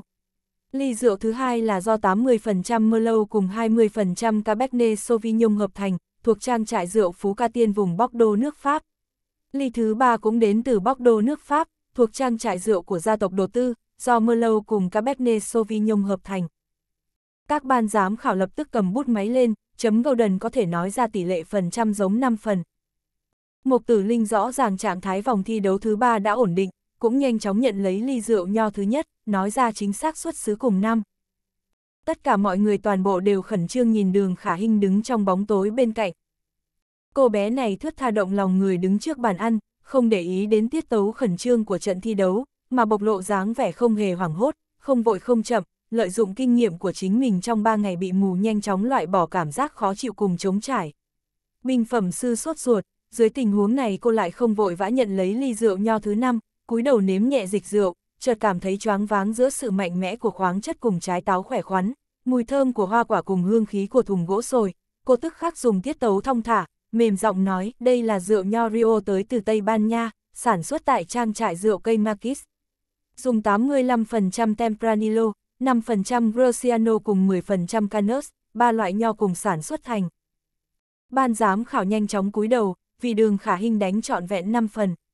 Ai muốn đọc phun trước liên hệ, nhé. Đường khả hình lại trong nháy mắt nhận lấy ly rượu tiếp theo của bình phẩm sư, vẻ mặt bộc lộ sự ổn định, bảo trì trạng thái bình ổn nói, đây là rượu nho Riboledo Winery năm 2000 tới từ trang trại rượu Copco thuộc vùng Pomerol của Pháp, do 67% Merlot cùng 27% Cabernet Franc, còn có 6% Cabernet Sauvignon hợp thành. Trung bình tuổi thọ đạt 30 năm trở lên. Cô còn nói thêm một câu. Trang hạo nhiên cùng tưởng thiên lỗi bất đắc dĩ lại sốt ruột cười, trái tim không nhẫn nại được rất nhanh ngẩng đầu nhìn về phía màn hình lớn công bố số lượng phẩm rượu của bốn tuyển thủ, Alex 15 ly, Golden 20 ly, Mộc Tử Linh 12 ly, Đường Khả Hinh 10 ly. Đây là rượu nho Chateau Bordeaux năm 2005 tới từ trang trại rượu Dragon Vitic, do 62% Cabernet Sauvignon cùng 31% Merlot, 5% Sauvignon Blanc, cùng 2% một số giống nho khác hợp thành. Đường Khả hình lại kiên trì với tiết tấu của chính mình, không hoảng hốt không chậm nói ra đáp án trong lòng mình. Lúc này Vitus từ cự ly xa nhìn vào học trò của mình, nhớ tới thời gian chính mình vừa tiếp nhận người học trò đường khả hình này, cô cũng đã có chút bướng bỉnh ở trong phòng chứa rượu của công ty, bịt kín mắt, giống như chơi trốn tìm tìm hương khí của rượu nho, đây cơ hồ là mỗi ngày cô đều phải làm xong. Có đôi khi bởi vì mùi rượu quá nhạt, cô không thể tìm được, khi đó liền tự giác đi tới phòng làm việc để bị đánh, khi đó chính mình một gậy rồi một gậy quất lên người cô, cô một bên trốn tránh một bên khóc. Nghĩ tới đây, lão nhân ra nghiêm túc này rốt cuộc nhìn về phía học trò, hai tròng mắt bộc lộ vẻ cương chiều cùng đau lòng. Các tuyển thủ vẫn như cũ đang khẩn trương thi đấu, toàn bộ người xem phía dưới sân khấu nhao nhao khẩn trương gần như hít thở không thông nhìn trận thi đấu này đã trải qua 20 phút thi đấu. Có một số người xem Nam Trung Quốc nhìn về phía đường Khả Hinh là người có số liệu thấp nhất trong số 4 người, trái tim bọn họ gần như muốn nhảy ra, cầm thiếp mời vội vàng kêu, đường Khả Hinh. Cố lên, cố lên. Ban giám khảo cùng quan chủ khảo hai bên sân khấu cũng bắt đầu khẩn trương, nhao nhao ngẩng đầu nhìn về phía phần 8 phút sau, màn hình lớn hiện lên số lượng phẩm rượu, Alex 50, Golden 43, Mộc Tử Linh 38, Đường Khả Hinh 42. Đây là rượu nho tới từ vùng Tuscany của Italy, năm 2000. Do 70% Merlot cùng 30% Sangiovese hợp thành. Đường Khả Hinh vẫn như cũ không quan tâm đến tình huống mà nêu lên số liệu của mình, không hoảng hốt cũng không chậm lại nhận lấy một ly rượu nho hồng, nhanh chóng nếm xong lại nhanh chóng nói, đây cũng là rượu vang đến từ Italy, khu sản xuất theo tiêu chuẩn chất lượng cao pôn, do giống nho Sangiovese đơn độc sản xuất thành. Lời nói của cô giống như một loại ngọc trai. Nhưng vào lúc này, Golden vì lúc trước phẩm rượu xuất lực thật mạnh mẽ cho nên vào lúc này tâm trạng từ từ khẩn trương cùng mất tập trung, trên trán bắt đầu đổ mồ hôi, cả người lâm vào trạng thái hoa mắt chóng mặt, gương mặt ông hơi hồng, hai tròng mắt có chút lạc lõng. Thời gian phẩm rượu đến ly thứ 53, cả người liền từ từ chậm lại. Lúc này Alex đã đọc số liệu ly rượu thứ 61, ổn định bảo trì ở vị trí thứ nhất. Mà trạng thái của Mộc Tử Linh cũng không tốt, thời gian đến ly thứ 54, cả người đã có chút không ổn định, mắt từ từ hoa lên. Lúc này đường khả hình vẫn còn có thể bảo trì trạng thái ổn định, nhanh chóng cầm lên một ly rượu nho, đưa tới bên mũi người người, lại nhanh chóng nói, đây là rượu nho Cabernet Sauvignon năm 2001 sản xuất tại một trang trại rượu thuộc tỉnh phía nam Australia, do Cabernet Sauvignon đơn độc sản xuất thành. Đây là rượu nho Cabernet Sauvignon năm 2005 sản xuất tại một tỉnh giáp biển phía tây của Australia. Cũng là do Cabernet Sauvignon đơn độc sản xuất thành. Bình phẩm sư cơ hồ giống như ngựa không dừng vó vì đường khả hình dơ lên ly rượu nho, là một người trẻ tầm 30 tuổi quốc tịch Pháp, một bên dơ lên, một bên sốt ruột ngẩng đầu nhìn đường khả hình đánh giá đến ly thứ 80, Alex 81. Golden cảm giác được đầu lưỡi gần như tê bút mới đánh giá đến 69, Mộc Tử Linh cũng mới đến 70, cô đã cảm giác được một trận khó chịu cùng buồn nôn. Đây là rượu vang Napa Valley năm 2003 đến từ California, nước Mỹ. Do 50% Cabernet Sauvignon, 30% Merlot cùng 20% Cabernet Franc hợp thành. Trừ khu vực đất đai quý giá đặc thù Bordeaux, rất nhiều rượu nho mới trên thế giới, còn là hy vọng sự linh hoạt của rượu, pha chế các loại khác nhau để sản xuất. Đường Khả Hinh nói xong, còn nói nhiều hơn một câu. Mọi người lại bật cười lại khẩn trương cùng sốt ruột nhìn về phía màn hình lớn, chỉ thấy giữa màn hình LCD, đường khả hình phẩm rượu là 89, Alex 85, Mộc Tử Linh 70, Golden 73, lại dường như rõ ràng đã không được. Ai muốn đọc phun trước liên hệ, nhé. Toàn bộ người xem trong hội trường đều khẩn trương đứng lên, ngẩng đầu nhìn hai tuyển thủ đường khả hình cùng Alex trạng thái ổn định ngang nhau đang không ngừng cầm ly rượu lên nếm thử. Phải biết rằng đến thời điểm bây giờ, chính là một trận quyết đấu đỉnh cao của trận chung kết này. Điểm số của trận thi đấu này rất quan trọng. Alex lại nhanh chóng cầm lên ly rượu thứ 90, vừa lúc nếm thử dịch rượu kia, vẻ mặt anh lập tức bộc lộ một chút khó chịu vẻ hoa mắt, hai tròng mắt phiếm hồng. Đường khả Hinh đã nhanh chóng cầm lên ly rượu thứ 93, nhanh chóng nếm xong, sắc mặt căng thẳng, trên trán chảy xuống đầy mồ hôi nhưng vẫn vô cùng ổn định đọc lên. Đây là rượu vang từ giống nho thuộc trang trại rượu Palm Huy Loxin thuộc tỉnh phía nam Australia ủ thành, năm 2006. Đây là rượu nho Rizer tới từ Tây Ban Nha, đặc biệt do 904 cây sồi bên bờ sông và thêm giống nho Bernie. Đây là rượu vang tới từ thung lũng trung tâm của Chile, năm 2000, do Cabernet Sauvignon cùng Merbi mỗi loại chiếm một nửa mà ủ thành rượu nho hoàng đế. Tên trang trại rượu dược nói ra từ miệng cô gái này giống như không cần phải suy nghĩ, lúc Alex phẩm rượu đến ly thứ 92, tinh thần anh bắt đầu không tập trung, mồ hôi trên trán từng giọt không ngừng chảy xuống. Đường khả hình lại giống như càng đánh càng hăng, nhanh chóng dưới ánh mắt kinh ngạc của mọi người, ngón tay bấm vào trong lòng bàn tay chảy ra máu, lại kiên quyết dơ lên ly rượu thứ 100, cúi đầu nếm một hóp rượu, tài văn chương tràn đầy nói ra, đây là rượu nho Pinot Henry tới từ California nước Mỹ. Do một mình Pinot Henry chế biến thành, năm 2008. Toàn hội trường lập tức vang lên tiếng vỗ tay nhiệt liệt, Trang Hạo Nhiên cùng Tưởng Thiên Lỗi và mọi người cũng nhao nhao kích động cười cảm ơn, Vitus cũng bộc lộ sự tự hào tươi cười nhìn về phía học trò. Lúc này hách lệ trong tiếng thét quái dị của ban giám khảo cùng quan chủ khảo nhanh chóng lấy xuống tai nghe của đường khả Hinh, nghiêm túc cùng nhanh chóng hỏi tuyển thủ đường khả Hinh, Cô có đồng ý để khảo nghiệm không? Lúc này đường khả Hinh cả người cơ hồ choáng váng, sắc mặt tức khắc trắng bệch, mồ hôi lạnh chảy xuống, trong đầu lướt qua vô số hình ảnh những người đã đưa mình lên được sân khấu ngày hôm nay, bao gồm cha, mẹ, nhã tuệ, trang hạo nhiên, tưởng thiên lỗi, tô thủy kỳ, sư phụ, ủy viên trương cùng thủ tướng. Cô nặng nề thở hổn hển, nắm chặt bàn tay cố gắng để lộ tinh thần cứng cỏi cùng không thể thua, từng chữ từng chữ tràn đầy khí thế gật đầu nói, đồng ý. Audio điện tử võ tấn bền chương 1186, ý nghĩa. Đường Khả Hinh lại tiếp nhận khảo nghiệm về phục vụ rượu bậc nhất trên thế giới. Toàn trường một trận ồ lên, Trang Hạo Nhiên cùng Tưởng Thiên Lỗi khẩn trương ngẩng đầu, hai tròng mắt nóng cháy đau lòng nhìn về phía cô, kỳ thực tình huống cô vượt lên dẫn đầu, có lẽ không cần làm chuyện mạo hiểm như vậy, thế nhưng thi đấu chính là thi đấu, chí mạng nhất là nó không xác định tính thường, lúc này toàn bộ tâm của mọi người tâm lại bị cô bé này nhắc tới, quan chủ khảo cùng giám khảo và mọi người, bộc lộ quái dị thần tình nhìn về phía đường khả hình, ngay cả Pabo cứng rắn như người sắt vậy. Biết đường khả hình muốn thi tiếp, cũng không khỏi bộc lộ một chút kích động, nhìn về phía người con gái trước mặt. Phu nhân dốc cũng không dám thả lỏng căng thẳng, nhìn về phía người con gái trước mặt. Vitus ngồi vững vàng ở chỗ ngồi, thái độ trầm ngâm, hai tròng mắt nóng cháy nhìn về phía đồ đệ. Alex sau khi hơi nghỉ ngơi, rõ ràng đã khôi phục được không tệ, tiếp tục tính theo thời gian còn có 5 phút, nâng lên chén rượu nho thứ 93, chuẩn bị thưởng thức. Đường khả hình mặt lại bộc lộ tư thái khiêu chiến, mặc kệ hai tròng mắt mơ hồ, dũng cảm không sợ khách lệ cuối cùng lộ ra ý cười ở ba camera giám sát, xuyên qua khe hở, mang đến một chén đựng trong cháp, cẩn thận từng ly từng tí rót ra một chén rượu, từ từ rời bước, đưa đến trước mặt đường khả hình, nhìn về phía cô bé này mặc kệ hai tròng mắt mơ hồ, lại vẫn như cũ mềm mại động nhân, cô khẽ cười, ôn nhu đem chén rượu này, đưa đến trước mặt, thong thả mà hữu lực nói, đường tuyển thủ, rượu nho của cô. Toàn thế giới hoàn toàn yên tĩnh, toàn bộ sân khấu từ trên xuống dưới, cùng nhau khẩn trương nhìn về phía đường khả hình, nhã tuệ cùng Trần Mạn Hồng lúc này cũng hơi rảnh rỗi, vội vàng nhanh chóng đi tới phía dưới sân khấu, hai tròng mắt lóe ra quang mang, khẩn trương đến nỗi trái tim như sắp nhảy ra khỏi ngực, ngẩng đầu nhìn về phía đường khả hình.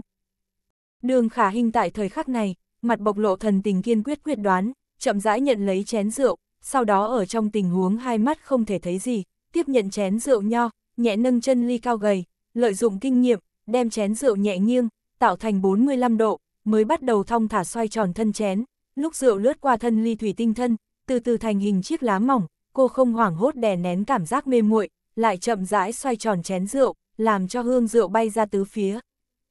Giám khảo cùng quan chủ khảo lúc này đều dừng ánh mắt trên người của người con gái Trung Quốc, nếu như lúc trước, người ta còn có thể trên người của cô, tìm được hình bóng của người đào tạo ra cô, thế nhưng lúc này, việc nàng không thấy gì cùng với sự thông minh sắc bén toát ra từ con người cô đã tạo cho cô một phong cách khác biệt hẳn. Đây là thái độ thập phần si mê của người châu Âu. Đường khả hình sau khi thong thả xoay tròn chén rượu, khuôn mặt căng thẳng của cô đột nhiên hiện lên vẻ giật mình cùng vui vẻ, cảm động đến có chút nghẹn ngào.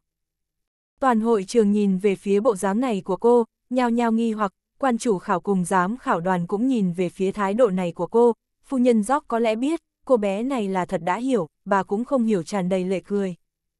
Đường khả hình quả thực vào lúc này, tay nâng chén rượu nho, thanh âm ngọt ngào mà giàu cảm xúc nói, tôi ở vừa phẩm rượu này, vẫn có nghi hoặc.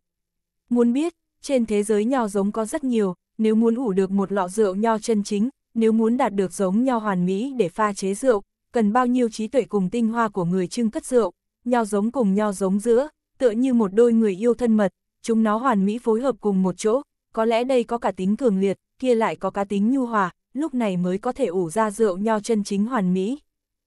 Bác dịch lúc này, trong lòng bị xúc động, nhìn về phía đường khả hinh. Trang hạo nhiên cũng vào thời khắc này, kích động nhìn về phía đường khả hinh.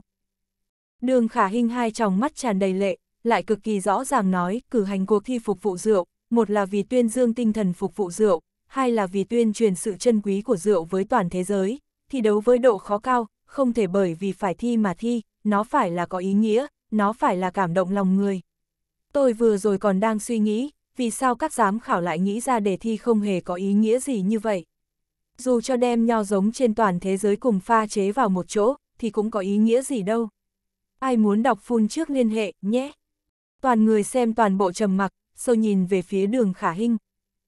Đường khả hình lúc này lại hơi kích động tươi cười, nâng lên rượu nho hơi cao giọng nói, này căn bản không phải là một lọ cùng đào lên một chỗ với 30 lọ kia, mà là do pháp danh trang bát rượu trang trưởng môn cùng bồ đào nha Crystal trang chủ cùng ủ vào năm 2006 Crystal Kelly Này rượu nho chính là lợi dụng bồ đào nha cùng pháp Bordeaux và hơn 30 loại nho giống hợp lại mà thành.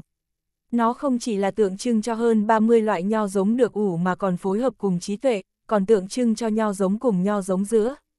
Cảm tạ quan chủ khảo cùng giám khảo cho tôi trình hiện như thế một loại rượu đặc sắc, cho tôi hạnh phúc như thế. Vitus vào giờ khắc này, mặt rốt cuộc bộc lộ tươi cười tự hào, kích động khẽ gật đầu nhìn về phía đồ đệ.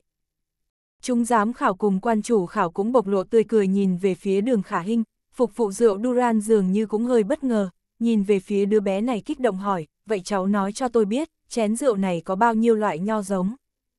Đường khả hình vào thời khắc này, nhanh chóng giơ chén rượu, từ từ mở miệng, mặt bộc lộ thần tình cứng cỏi, từng cái nói, nó là các giống bồ đào nha Baga, Casitelao, Lori, Pháp Duo Ruizia nước Rua Ruizia, Haen, Aluo Kailua, Baluoka. Cô bé này kiên quyết như thế mà chính xác nói ra được từng giống nho, nói xong kia thâm tình mà động nhân. Dóc phu nhân nhìn về phía đường khả hình, cực kỳ quý trọng gật đầu. Trang hạo nhiên cũng vào lúc này, kiêu ngạo cùng tự hào nhìn về người con gái trước mặt.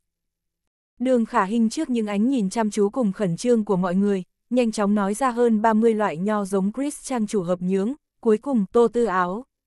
Tạp áo hồng, kia rõ ràng vị cây mơ, thật là quá đặc sắc. Mọi người nghe đáp án cuối cùng này, lập tức bị mặt tài hoa của cô bé này, làm cho cảm động liên tục vỗ tay, Trang Hạo Nhiên cùng Tưởng Thiên Lỗi cũng bộc lộ vui sướng tươi cười, vì người con gái trước mặt nhau nhau vỗ tay ủng hộ. Đường Khả Hinh vào thời khắc này, nói xong giống nhau cuối cùng, cô liền lấy tay lấy xuống vải che mắt, kích động tươi cười, đối với toàn hội trường cúi đầu, biết được Alex cùng Golden, còn có một tử linh người ba người cũng không nhận khảo nghiệm, mà đã đi trước mình một bước, bắt đầu chọn rượu, cô liền cũng rất nhanh kích động xoay người, đi vào quang chi môn, lập tức nhìn thấy Alex đã mở ra một chai Mỹ California, mà Golden thì mở ra một chai Sato 1986 Jaguar Drucker, một tử linh thì bình tĩnh mở ra một chai Mỹ Screaming Eagle 1996. Đường khả hình nhanh chóng đi vào thời gian chi môn, nhìn trên bàn cơm còn để một chai Mao Tần 1990 cuối cùng, cô tức khắc kích động mỉm cười đi qua, đây là loại rượu sư phụ yêu thích nhất, cô nhất định phải thử rượu thật tốt, trình lên một chén rượu lên cho sư phụ, xin ngài tha thứ cho mình. Cô nói cho hết lời, liền tức khắc cầm lên dụng cụ mở chai. Bốn tuyển thủ trong khoảng thời gian này đều bận rộn, mà chuẩn bị thử rượu, giám khảo cùng quan chủ khảo, nhau nhau đã có đáp án, đều cảm thấy người con gái kia xác thực ưu tú cùng xuất sắc. Giác sờn vào lúc này, cúi mặt nhìn về phía nơi cho điểm trước mặt, nhớ tới đường khả hình vừa nói đến phiên thoại, không cần phải nếm, trực tiếp ghi được 98 điểm. Toàn hội trường người xem cũng nhao nhao cao hứng bừng bừng, Trang Hạo Nhiên cùng tưởng thiên lỗi mấy người cũng thở hổn hển một hơi, lo lắng chờ đợi. Nhưng vào lúc này, bên trong cánh cửa truyền đến âm thanh vật gì đó bị vỡ làm mọi người hoảng sợ. Ai muốn đọc phun trước liên hệ, nhé. Duy Lập hơi ngẩng đầu, căng sắc mặt, nhìn về phía trong cánh cửa, hơi cao giọng hỏi chuyện gì xảy ra. Hách lệ cùng mấy nhân viên công tác tức khắc đi qua trước mặt mọi người tiến vào bên trong, nhìn thấy đường khả hình cùng Mộc tử linh đang cùng nhìn đối phương, sửng sốt. chương 1187, Thừa Thụ. Xin hỏi hai vị đã xảy ra chuyện gì? Hách lệ nhanh chóng đi vào trong thời gian nhanh nhất, khuôn mặt nghiêm túc nhìn về phía đường khả hình cùng Mộc tử linh thật lâu. Trên mặt đất có rất nhiều mảnh thủy tinh, có cả loại bình chân quý trị giá 1.990 euro cùng với những loại rượu giá đắt đỏ bây giờ thành những mảnh vỡ nằm rải rác trên mặt đất. Những loại rượu đỏ hồng chảy lênh láng trên mặt đất tỏa ra mùi hương ngào ngạt. Tất cả các phóng viên cùng nhau tụ tập ở đây để lưu lại những hình ảnh sự việc bên trong truyền ra ngoài. Người xem ở sân khấu, tất cả đều nhao nhao lên để nhìn, giám khảo cùng các quan chủ khảo cũng nhìn về màn hình lớn ở phía đầu kia. Đường Khả Hinh cùng Mộc Tử Linh, hai tuyển thủ cùng đứng chung một chỗ, khuôn mặt nghiêm túc cùng căng thẳng. Trang hạo nhiên cùng tưởng thiên lỗi càng khẩn trương đến không nói được nên lời nhìn hai người kia rất muốn biết rốt cuộc vừa rồi đã xảy ra chuyện gì. Xin hỏi, hai vị đã xảy ra chuyện gì? Hách lệ lúc này, khuôn mặt bộc lộ vẻ nghiêm túc nhìn về phía đường khả hình cùng Mộc tử linh hỏi, chai này rượu, là ai đánh vỡ? Khu thi đấu này có quy định, mặc kệ là thí sinh có ý định quấy rầy hay là cố ý không cho thi đấu đều phải gánh chịu rút lui khỏi cuộc thi. Lời này vừa nói ra, toàn trường lại kêu lên một tiếng, ồ. Phu nhân dốc khẩn trương ngẩng đầu, nhìn về phía màn hình lớn. Cảm thấy đường khả hình như một người chuyên nghiệp cẩn thận dùng rượu hẳn là không thể ở thời khắc mất bình tĩnh mà đánh nát tỉnh bình rượu. Đường khả hình lúc này vẫn như thường, nhưng chỉ là nét mặt căng thẳng, đôi mắt sắc bén nhìn về phía Mộc Tử Linh. Mộc Tử Linh nhìn chằm chằm cô, khuôn mặt run rẩy căng thẳng. Đường khả hình cắn chặt răng nhìn thấy cô bộ dáng như vậy. Mình cũng lập tức kiềm chế động tình trong lòng, mặc dù trong lòng thật lòng không muốn thừa nhận nhưng vẫn cắn chặt răng phát ra từng chữ trả lời, rượu này. Là tôi làm vỡ. Lồng ngực Mộc Tử Linh đập loạn nhịp nhìn về phía cô. Hách lệ hít mắt lại nhìn về phía đường khả hình nhanh chóng nói, cô xác định sao? Rượu này đúng là cô đánh vỡ. Đây là rượu của cô, nếu như không cẩn thận đánh vỡ, như vậy chúng ta sẽ phải dựa theo luật lệ. Hơn nữa cuộc tranh tài này, trong thời khắc nhất thời mà rượu bị đánh vỡ. Coi như cô không có duyên với nó đi. Đường khả hình nhìn Mộc Tử Linh thật lâu, lòng của cô quặn thắt, nhưng vẫn thở dài một hơi. Thong thả gật đầu. Mộc Tử Linh nghi ngờ nhìn người trước mắt. Hách lệ hơi nhíu mày lại nhìn Mộc Tử Linh cùng đường khả hình. Vẫn cứ cảm thấy hai người này có điều bí ẩn. Ngay cả Golden cùng Alex cũng nghi ngờ. Những phóng viên nhanh chóng ghi lại hình ảnh này. Đúng là đường khả hình trong lúc không tỉnh rượu liền vô ý tự đánh rơi rượu. Những phóng viên chuyển qua ban giám khảo xem thử họ sẽ xử trí thế nào. Toàn bộ người ở dưới sân khấu cùng ban giám khảo nhìn thấy đường khả hình bị áp đảo đều kêu lên. Trang hạo nhiên cùng tưởng thiên lỗi còn có Vitus càng nghi ngờ nhìn. Tuy đen thủ đường khả hình, cuộc thi đấu của cô hôm nay đã kết thúc, hách lệ bộc lộ vẻ tiếc nuối, nhưng vẫn tươi cười nói với đường khả Hinh, mặc dù cô bị rời khỏi cuộc thi đấu, nhưng so với tổng điểm của cô có thể vượt qua vòng thứ ba. Chúc mừng cô, trước khi đi, cô còn muốn nói gì nữa không? Đường khả Hinh nhìn về Mộc Tử Linh, trên khuôn mặt chịu đựng đã lâu, rốt cuộc cũng thở dốc tức giận nói tôi, muốn cùng tiểu thư Mộc Tử Linh nói chuyện. Được, hách lệ đồng hồ, còn có thời gian, liền còn làm mỉm cười gật đầu lui ra ngoài. Đường khả Hinh nhìn những phóng viên lui xuống, cô mới bộc lộ hộ dáng tức giận nặng nề nói từng chữ, từng chữ một, cô tại sao phải làm như vậy?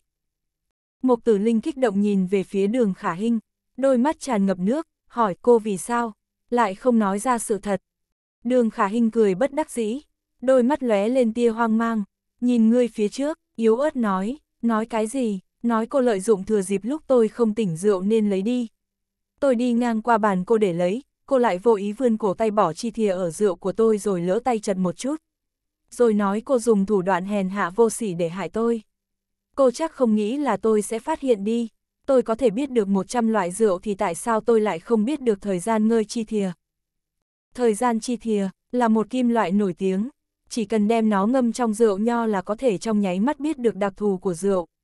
Thúc đẩy thời gian ngâm rượu, kể cả loại rượu đã được ươm trăm năm, mùi nồng nặc, vị có thể nhận ra. Chỉ là nó kéo dài thời gian, ngắn nhất chỉ được mấy phút, cho nên dễ bị phát hiện, hơn nữa chỉ có trong một thời gian có thể phát hiện ra toàn bộ rượu nho. Hành vi này làm người khác rất kinh bỉ, ví dụ như đường khả hình bị phát hiện thời gian chi thìa. Cô sẽ bị toàn thế giới biết đến, sau này nhất định sẽ thân bại danh liệt. Trái tim Mộc Tử Linh bỗng nhiên trở nên lạnh lẽo, nét mặt căng thẳng, đôi mắt ngập nước kích động nhìn về phía đường khả hình. Không thể ngờ, cô đã phát hiện, cô hoàn toàn có thể không cần đánh vỡ rượu của cô, cô có thể nói ra và vạch trần tôi. Vì sao cô, tại sao lại muốn thừa nhận, rượu này là cô đánh vỡ? Đường khả hình lộ vẻ đau lòng, khuôn mặt cô bộc lộ vẻ tiếc nuối nhưng nhìn về phía Mộc Tử Linh, nói rõ ràng, bởi vì đây không phải là đấu tranh giữa hai cá nhân tôi và cô mà là bởi vì tôi đại biểu cho quốc gia của tôi, cô đại biểu cho dân tộc của cô. Mộc Tử Linh như bị suy sụp hoàn toàn, kích động nhìn về phía đường khả hình. Cô làm ra chuyện như vậy tôi muốn chính cô phải chịu. Dân tộc cô chịu không nổi, đường khả hình liếc mắt khinh bỉ một cái, lúc này không muốn nói gì thêm liền xoay người đi về phía bên ngoài sân khấu rồi yếu ớt nói, tôi vĩnh viễn cũng không muốn gặp lại cô nữa. Biến mất khỏi tầm mắt của tôi càng xa càng tốt. Đôi mắt Mộc Tử Linh chảy nước, ngẩng đầu lên cảm kích nhìn về phía bóng lưng của đường khả hình. Trong sân khấu, mọi người chưa hết bàn tán về sự việc đường khả hình đánh rơi rượu. Cảm thấy thật nuối tiếc mặc dù biết cô có thể vượt qua việc thi đấu lần này nhưng vẫn muốn cô biểu diễn rồi mới đi xuống, Trang hạo nhiên, tưởng thiên lỗi cùng bác dịch có vẻ nghi hoặc không hiểu. Vitus biểu tình ngưng trọng ngồi ở chỗ ngồi, cũng không tin học sinh mình lại lỗ mãng như vậy, nhớ có lần chính mình không cẩn thận đẩy ngã bình rượu. Cô còn liều mình lao tới ôm lấy bình rượu khiến mình bị ngã đến chảy máu. Bầu không khí có chút vắng vẻ. Đường khả hình lúc này mới bộc lộ vẻ mặt tiếc nuối từ từ đi ra sân khấu. Đứng ở vũ giữa đài, lợi dụng Alex cùng Golden còn chưa tỉnh rượu.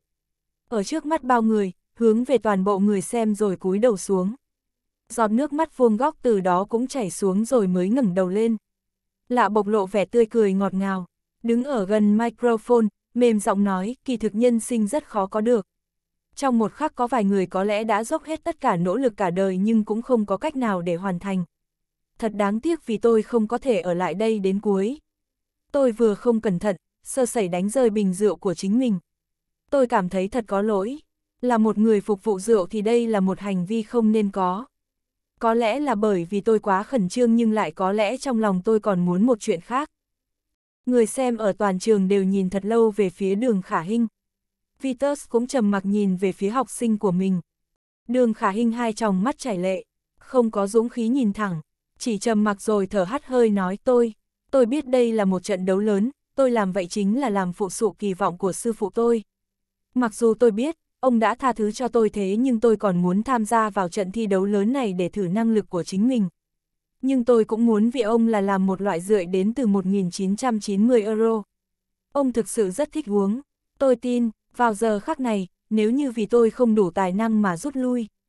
Vậy khi đưa lên một chén rượu này, ông nhất định sẽ cảm thấy rất vui vẻ, tôi thật sự rất tiếc nuối vì không thể toàn thành được tâm nguyện cuối cùng. Thế nhưng, tương lai ở cuộc thi đấu khắc tôi sẽ cố gắng hết sức mình. Cảm ơn sư phụ cùng các vị chờ mong ở tôi và giám sát tôi. Cảm ơn các vị. Đường khả hình cố nén nước, xoay người đi.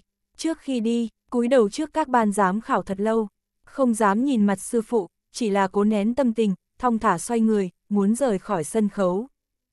Chờ một chút, một thanh âm lạnh lùng truyền đến. Đường khả hình hơi giật mình, mặc kệ những ánh mắt phía dưới đang nhìn về mình, đôi mắt cô ngấn lệ nhìn về phía giám khảo, chính ông ta gọi mình. Vitus vẫn một bộ dáng lạnh nhạt, hai tròng mắt thanh thúy nhìn về phía học sinh. Lại đứng lên gọi, Duran tiên sinh.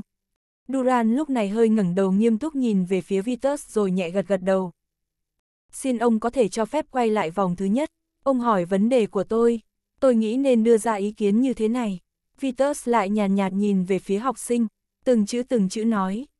Trang hạo nhiên nghe lời này, hai tròng mắt di chuyển, suy nghĩ một hồi mới nhìn hướng hội trưởng phục vụ rượu. Duran tiên sinh ngẩng đầu nhìn Vitus, hỏi Vitus tiên sinh. Ngài đối với thí sinh đường khả hình nên cho bao nhiêu điểm? Nghe lời này, đường khả hình hơi giật mình, đầu ngón tay không khỏi rét run nhìn về phía lão sư của mình. Đôi mắt tràn ngập nước. Vitus vào lúc này nhìn về phía đường khả hình. Đây là học trò đáng yêu hiền lành của ông, ông thâm trầm nói, ở quá khứ, tôi đối với học trò của mình luôn không hài lòng. Chưa từng cho nàng nhiều điểm, nhưng là hôm nay, tôi nghĩ nên cho thí sinh đường khả hình. 100 điểm, cô biểu hiện rất khá, rất hoàn chỉnh, rất xuất sắc. Toàn trường lập tức vang lên những tiếng vỗ tay nhiệt liệt. Cá giám khảo cùng các quan chủ khảo cũng kích động cho những chàng pháo tay nhiệt liệt. Trang hạo nhiên cùng mọi người cũng kích động cười. Đường khả hình nghe sư phụ này cho mình 100 điểm. Cô kích động rồi cười thật tươi, nghe lão sư cho mình điểm. Dù cho toàn thế giới có ghét bỏ cô, cô cũng cảm giác thấy tất cả những nỗ lực của kinh là đáng giá. Cô vừa cười, nước mắt cô vừa chảy, tạo nên một bức tranh thật hoa mỹ. Toàn thế giới nhìn về phía cô bé này, chỉ là cảm thấy cô quá đẹp. Nhưng lại không biết hôm nay cô đã phải hy sinh bao nhiêu. Đường Chí Long cũng vào thời khắc này, ngồi ở bên trong phòng bệnh nhìn về phía đứa con gái của mình xuất sắc như vậy. Cũng cảm thấy được an ủi, vừa cười vừa chảy nước mắt, chương 1188, người quan trọng. Trận thi đấu hai cuộc thi phục vụ rượu thế giới đã kết thúc. Mấy nghìn người kéo nhau đi ra khỏi nhà hát, mỗi người xem trận thi đấu còn chưa thấy mãn nguyện, họ vừa đi vừa trò chuyện rôm rả về trận thi đấu đầy phấn khích ngày hôm nay, tất cả đều bừng bừng hứng chí. Nhất là những người Trung Quốc cùng các phóng viên, họ đều không khép được nụ cười.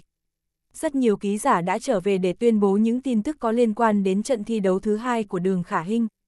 Có nhiều người xem thậm chí còn nghĩ đến việc chen chúc đến trước đài thi đấu, tìm đường Khả Hinh cùng mấy vị phục vụ rượu khác để xin chữ ký. Nhân viên công tác của Hiệp hội Rượu Đỏ nhanh chóng chặn người xem cùng các phóng viên lại, bởi vì các vị phục vụ rượu ngày hôm nay đã trải qua một trận thi đấu hết sức căng thẳng, thân thể của họ đã chịu đến cực hạn, rất khó chịu, nên đã bị nhân viên y tế cùng nhân viên công tác đưa về phòng nghỉ ngơi rồi. Chiều muộn ngày hôm nay, còn phải tham gia, yến hội cung đình, giới thiệu sách nấu ăn kết hợp với rượu nho, nên định sau khi thi đấu xong sẽ bắt tay vào làm. Chính vì vậy cho nên hôm nay sau khi trận đấu kết thúc, tạm thời sẽ không nhận phỏng vấn, kính xin các vị truyền thông đến yến hội được tổ chức tại nhà hát ngoài trời, nếm thử các hương vị rượu nho trong trận thi đấu ngày hôm nay cùng những loại rượu nổi tiếng khác. Các vị khách cũng có thể nhân cơ hội này thưởng thức. Phía truyền thông cùng các vị khách mời nghe xong, mặc dù có chút thất vọng, nhưng đổi lại có rượu ngon cùng mỹ thực thưởng thức, họ liền quên đi chuyện phỏng vấn, còn vừa đi vừa nói cười tiến về phía nhà hát chuẩn bị nếm thử các món ăn ngon sau giờ ngọ.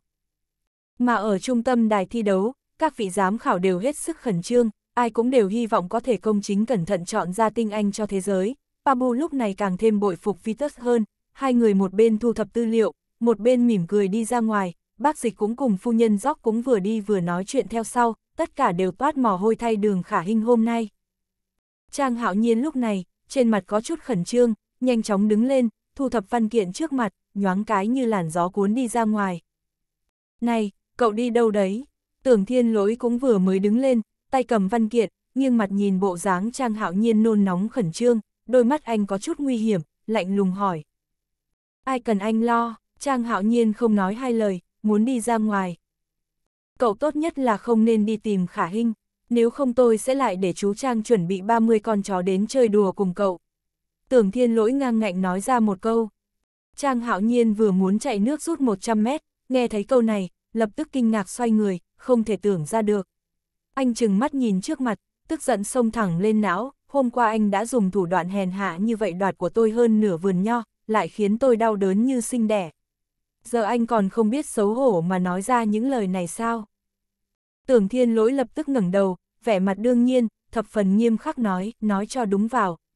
Vườn nho kia không phải là tôi cướp, là cậu cam tâm tình nguyện dâng lên cho tôi. Nếu như cậu muốn, tôi sẽ trả lại cho cậu, thế nào? Đây quả thật là uy hiếp trắng trợn mà. Hai mắt Trang Hạo Nhiên híp lại, nghiến răng nghiến lợi, thật muốn làm thịt người trước mặt.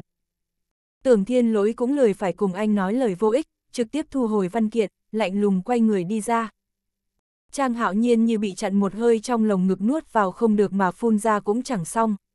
Trong không gian yên tĩnh có thể nghe thấy tiếng kêu răng rác vang lên biểu thị sự tức giận của chủ nhân nó, nhưng cũng chỉ có thể tức giận như vậy mà không thể làm gì được. Trên môi không ngừng là những lời nói cằn nhằn, đúng là người đàn ông đã lâu không được yêu đương có khác. Tâm tình cũng khó chịu như phụ nữ đến ngày vậy. Hormone mất cân đối, đúng là quái dị. Tưởng thiên lỗi lập tức phẫn nộ xoay người, tay cầm văn kiện, nhắm thẳng vào Trang Hạo Nhiên, mặt lạnh quát cậu vừa mới nói cái gì. Trang Hạo Nhiên nhất thời ngưng mặt, xoay người không thèm nói chuyện. Ngoặc kép chấm chấm chấm chấm chấm chấm chấm chấm chấm ngoặc kép. Tưởng thiên lỗi hít một hơi thật sâu liếc mắt nhìn cậu ta, lúc này mới lạnh lùng xoay người, lạnh đến nỗi không khí xung quanh cũng đông lại rồi, anh vừa đi vừa nói cậu tốt nhất là cẩn thận một chút cho tôi. Ở khách sạn của tôi, địa bàn của tôi, dù cho có biến mất một con kiến tôi cũng có thể tìm ra. Lời nói xong, người cũng đã biến mất ở hành lang phía sau đài thi đấu. Trang hạo nhiên mở to mắt chừng người này, thật lâu, thật lâu sau, rất tiếc cũng không có ai nhìn thấy được, anh mới tâm không cam tình không nguyện, lo lắng cho đường khả hình, nhưng cũng chỉ có thể bất đắc dĩ đi ra ngoài. Đại sảnh khách sạn, tưởng thiên lỗi, bản thân anh bình thường ngày kiếm bạc tỷ, cho nên bớt thời giờ một ngày để làm quan chủ khảo, tham gia cuộc thi đấu này xong, anh lập tức cùng Đông Anh trở lại tòa nhà hành chính phòng tổng giám đốc. Lúc này, Trang Hạo Nhiên cũng nhanh chóng đi về phía đại sảnh khách sạn, chuẩn bị thay thế tưởng thiên lỗi, tham dự hội nghị tổng bộ hoàn cầu. Tiêu Đồng cùng An An cũng đã chuẩn bị xong văn kiện, đi ra tầng chính tòa nhà Hoàn Á, theo chân anh tới tổng bộ hoàn cầu. Tôi đi khai mạc hội nghị một chút, lập tức sẽ trở về ngay. Trang Hạo Nhiên vừa tiến vào đại sảnh, vừa dặn dò Tiêu Đồng bên người, nhanh chóng nói cô cũng không cần đi theo tôi. Tôi lo lắng khả hình trong lúc thi đấu, uống nhiều rượu như vậy, thân thể của cô ấy sẽ không tốt. Cô tức khắc cho người đi mời bác Phúc đến, xem cho cô ấy một chút. Nhớ kỹ, mặc kệ có xảy ra chuyện gì cũng phải ở bên cạnh bảo vệ cô ấy thật tốt.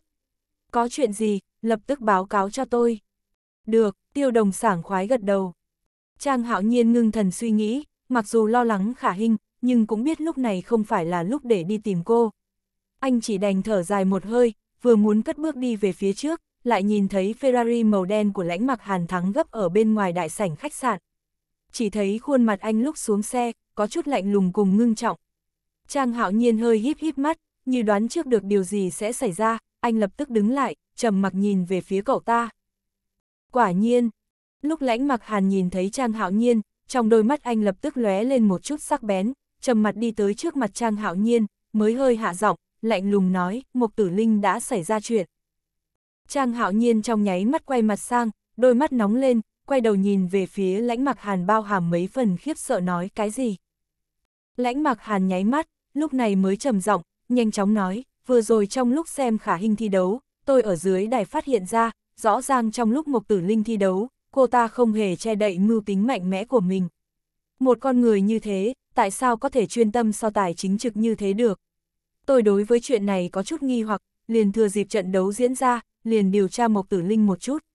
Quả nhiên tôi phát hiện ra gia tộc của cô ta vào mấy năm trước cũng đã xảy ra chuyện. Hiện nay công ty của gia tộc cô ta, thanh danh quả thực không dám khen tặng. Thêm vào đó lại chỉ còn là một cái vỏ bọc trống rỗng. Gia chủ cũng vì cô ta bị tình nhân bán đứng mà tức chết ở trong nhà. Bản thân cô ta mấy năm nay, cũng từng tiếp xúc với người trong hắc đạo. Dường như vì cuộc tranh tài này, mà đã lên sẵn kế hoạch từ trước. Hiện tại xem ra, cùng suy đoán của tôi không sai. Ngoặc kép chấm chấm chấm chấm chấm chấm chấm chấm chấm ngoặc kép. Trang hạo nhiên nhíu mi, biểu tình nghiêm trọng nhìn về phía lãnh mặc hàn. Lãnh mặc hàn cũng nghiêm túc ngẩng đầu, nhìn về phía trang hạo nhiên bất đắc dĩ nói, vừa rồi trong quá trình thi đấu, Mộc Tử Linh xin rút lui, chuẩn bị trở về Nhật Bản. Trên đường đi ra sân bay liền bị người ta bắt cóc. May mắn tôi lúc đó nhanh tay để lại thiết bị theo dõi trong xe của cô ta. Người của chúng ta theo dõi thấy dự cảm chẳng lành chạy đến hiện trường, lúc đó cô ta đã bị bó gọn, thiếu chút nữa bị ném xuống biển rồi. Thân thể Trang Hạo Nhiên chấn động mạnh một cái, khuôn mặt có chút phẫn nộ nhìn về phía lãnh mặc hàn. Tiêu đồng cũng nặng thở một cái, đôi mắt cũng có chút vé lửa, tâm tình bỗng nhiên trở nên trầm trọng, không thể tin nổi nhìn về phía lãnh mặc hàn. Lãnh mặc hàn cũng thở dài một cái, mới nói, may mắn người của chúng ta đúng lúc chạy tới cứu cô ta. Bằng không, tình huống hôm nay thực sự là quá mức mạo hiểm. Trong lúc tôi sai người đưa cô ta đến bệnh viện, cô ta lại nắm chặt tay tôi không buông, nói là để kéo dài trận thi đấu, chuyện cô ta bị thương tuyệt đối không được nói ra. Còn nói, vì báo đáp ân tình khả hình hôm nay đã cứu vớt linh hồn cô ta, cô ta liền đem nội dung cuộc nói chuyện cùng người giả hành nói hết. Cô ta thậm chí còn nói ra tin tức quan trọng của một người. Ai, Trang Hạo Nhiên khẩn trương nhìn về phía anh. Lãnh mặc hàn chậm chạp ngẩng đầu, nhìn về phía Trang Hạo Nhiên, đôi mắt sắc bén chợt lóe nói, hách dục hải. Trang Hạo Nhiên mở trừng trừng hai mắt nhìn về phía lãnh mặc hàn. Lãnh mặc hàn nhìn anh không chớp mắt, trên mặt là biểu tình âm trầm cùng bí hiểm, lạnh lùng, nói cô ta nói ra ba địa điểm đã từng nhìn thấy hách dục hải. Người của chúng ta đang khẩn cấp truy tìm, tôi thấy ông ta vẫn chưa từng buông tha cơ hội cứu con gái mình. Địa điểm che giấu hẳn là vẫn còn ở bờ biển, có lẽ ông ta đã biết được tin tức nơi che giấu con gái ông ta. Chính là ông ta còn đang mưu tính kế hoạch đi cứu con gái mình mà thôi. Trang hạo nhiên nghe những lời này, đôi mắt híp lại, trên khuôn mặt bộc lộ chút thâm trầm, tự ngẫm một chút về hách dục hải con người này, một lúc sau môi mỏng khẽ mở, lạnh lẽo nói cao thủ cùng cao thủ quyết đấu, đều chính là ta không động, địch cũng sẽ không thể kìm chế được xúc động mà hành động. Chỉ là ông ta cho rằng, mỗi ngày ai cũng sẽ có nhiều thời gian nhàm chám như vậy để bồi ông ta chơi trò mèo vờn chuột này sao? Lãnh mặc hàn cười như không cười, ngẩng đầu nhìn về phía Trang Hạo Nhiên nói, nói như vậy, ngài hồi bé chơi trò mèo vờn chuột như vậy. Cho tới bây giờ cũng chưa từng thua ai sao? Trang Hạo Nhiên có chút buồn cười nhìn về phía lãnh mặc hàn, nói, xác thực, rất ít thua. Tôi chỉ bại bởi một người duy nhất. Ai vậy? Lãnh mặc hàn ngược lại có chút hiếu kỳ. Trang hạo nhiên nhìn về phía lãnh mặc hàn, cảm thấy cậu ta đột nhiên thực ngu ngốc, trực tiếp cười rộ lên nói thiên lỗi a. Lúc cậu và anh ta chơi trò trốn tìm, anh ta có thể đứng ở sau rèm cửa sổ không nhúc nhích thật lâu, thậm chí là giống hệt tượng điêu khắc. Dù cho cậu có đi qua bên cạnh anh ta, cậu cũng sẽ không thể cảm nhận được một chút hơi thở của sinh mệnh nào cả. Cậu cũng không biết đâu, lúc tôi đi qua bên cạnh anh ta đều không đành lòng vạch trần, rơi vào đường cùng, đành phải vươn tay, hướng cái bóng đèn in trên tường kia đấm đấm vài quả. Anh ta thấy vậy còn không thèm nhúc nhích, đúng một giờ. Tôi chỉ còn cách nhận thua thôi. Phốc, tiêu đồng nghe xong lời này, nhịn không được phụt cười, ha ha. Lãnh mặc hẳn cũng bất đắc dĩ nhìn về phía người này, nói cho nên nói làm anh em với anh, thật là tam sinh hữu hạnh. Câu nói cũng đầy ẩn ý a. Trang hạo nhiên từ từ thu lại biểu tình, trong đôi mắt lại có chút lạnh thấu xương, nhìn về phía lãnh mặc hàn, hơi thở nặng nề, nói trận chung kết cũng sắp bắt đầu.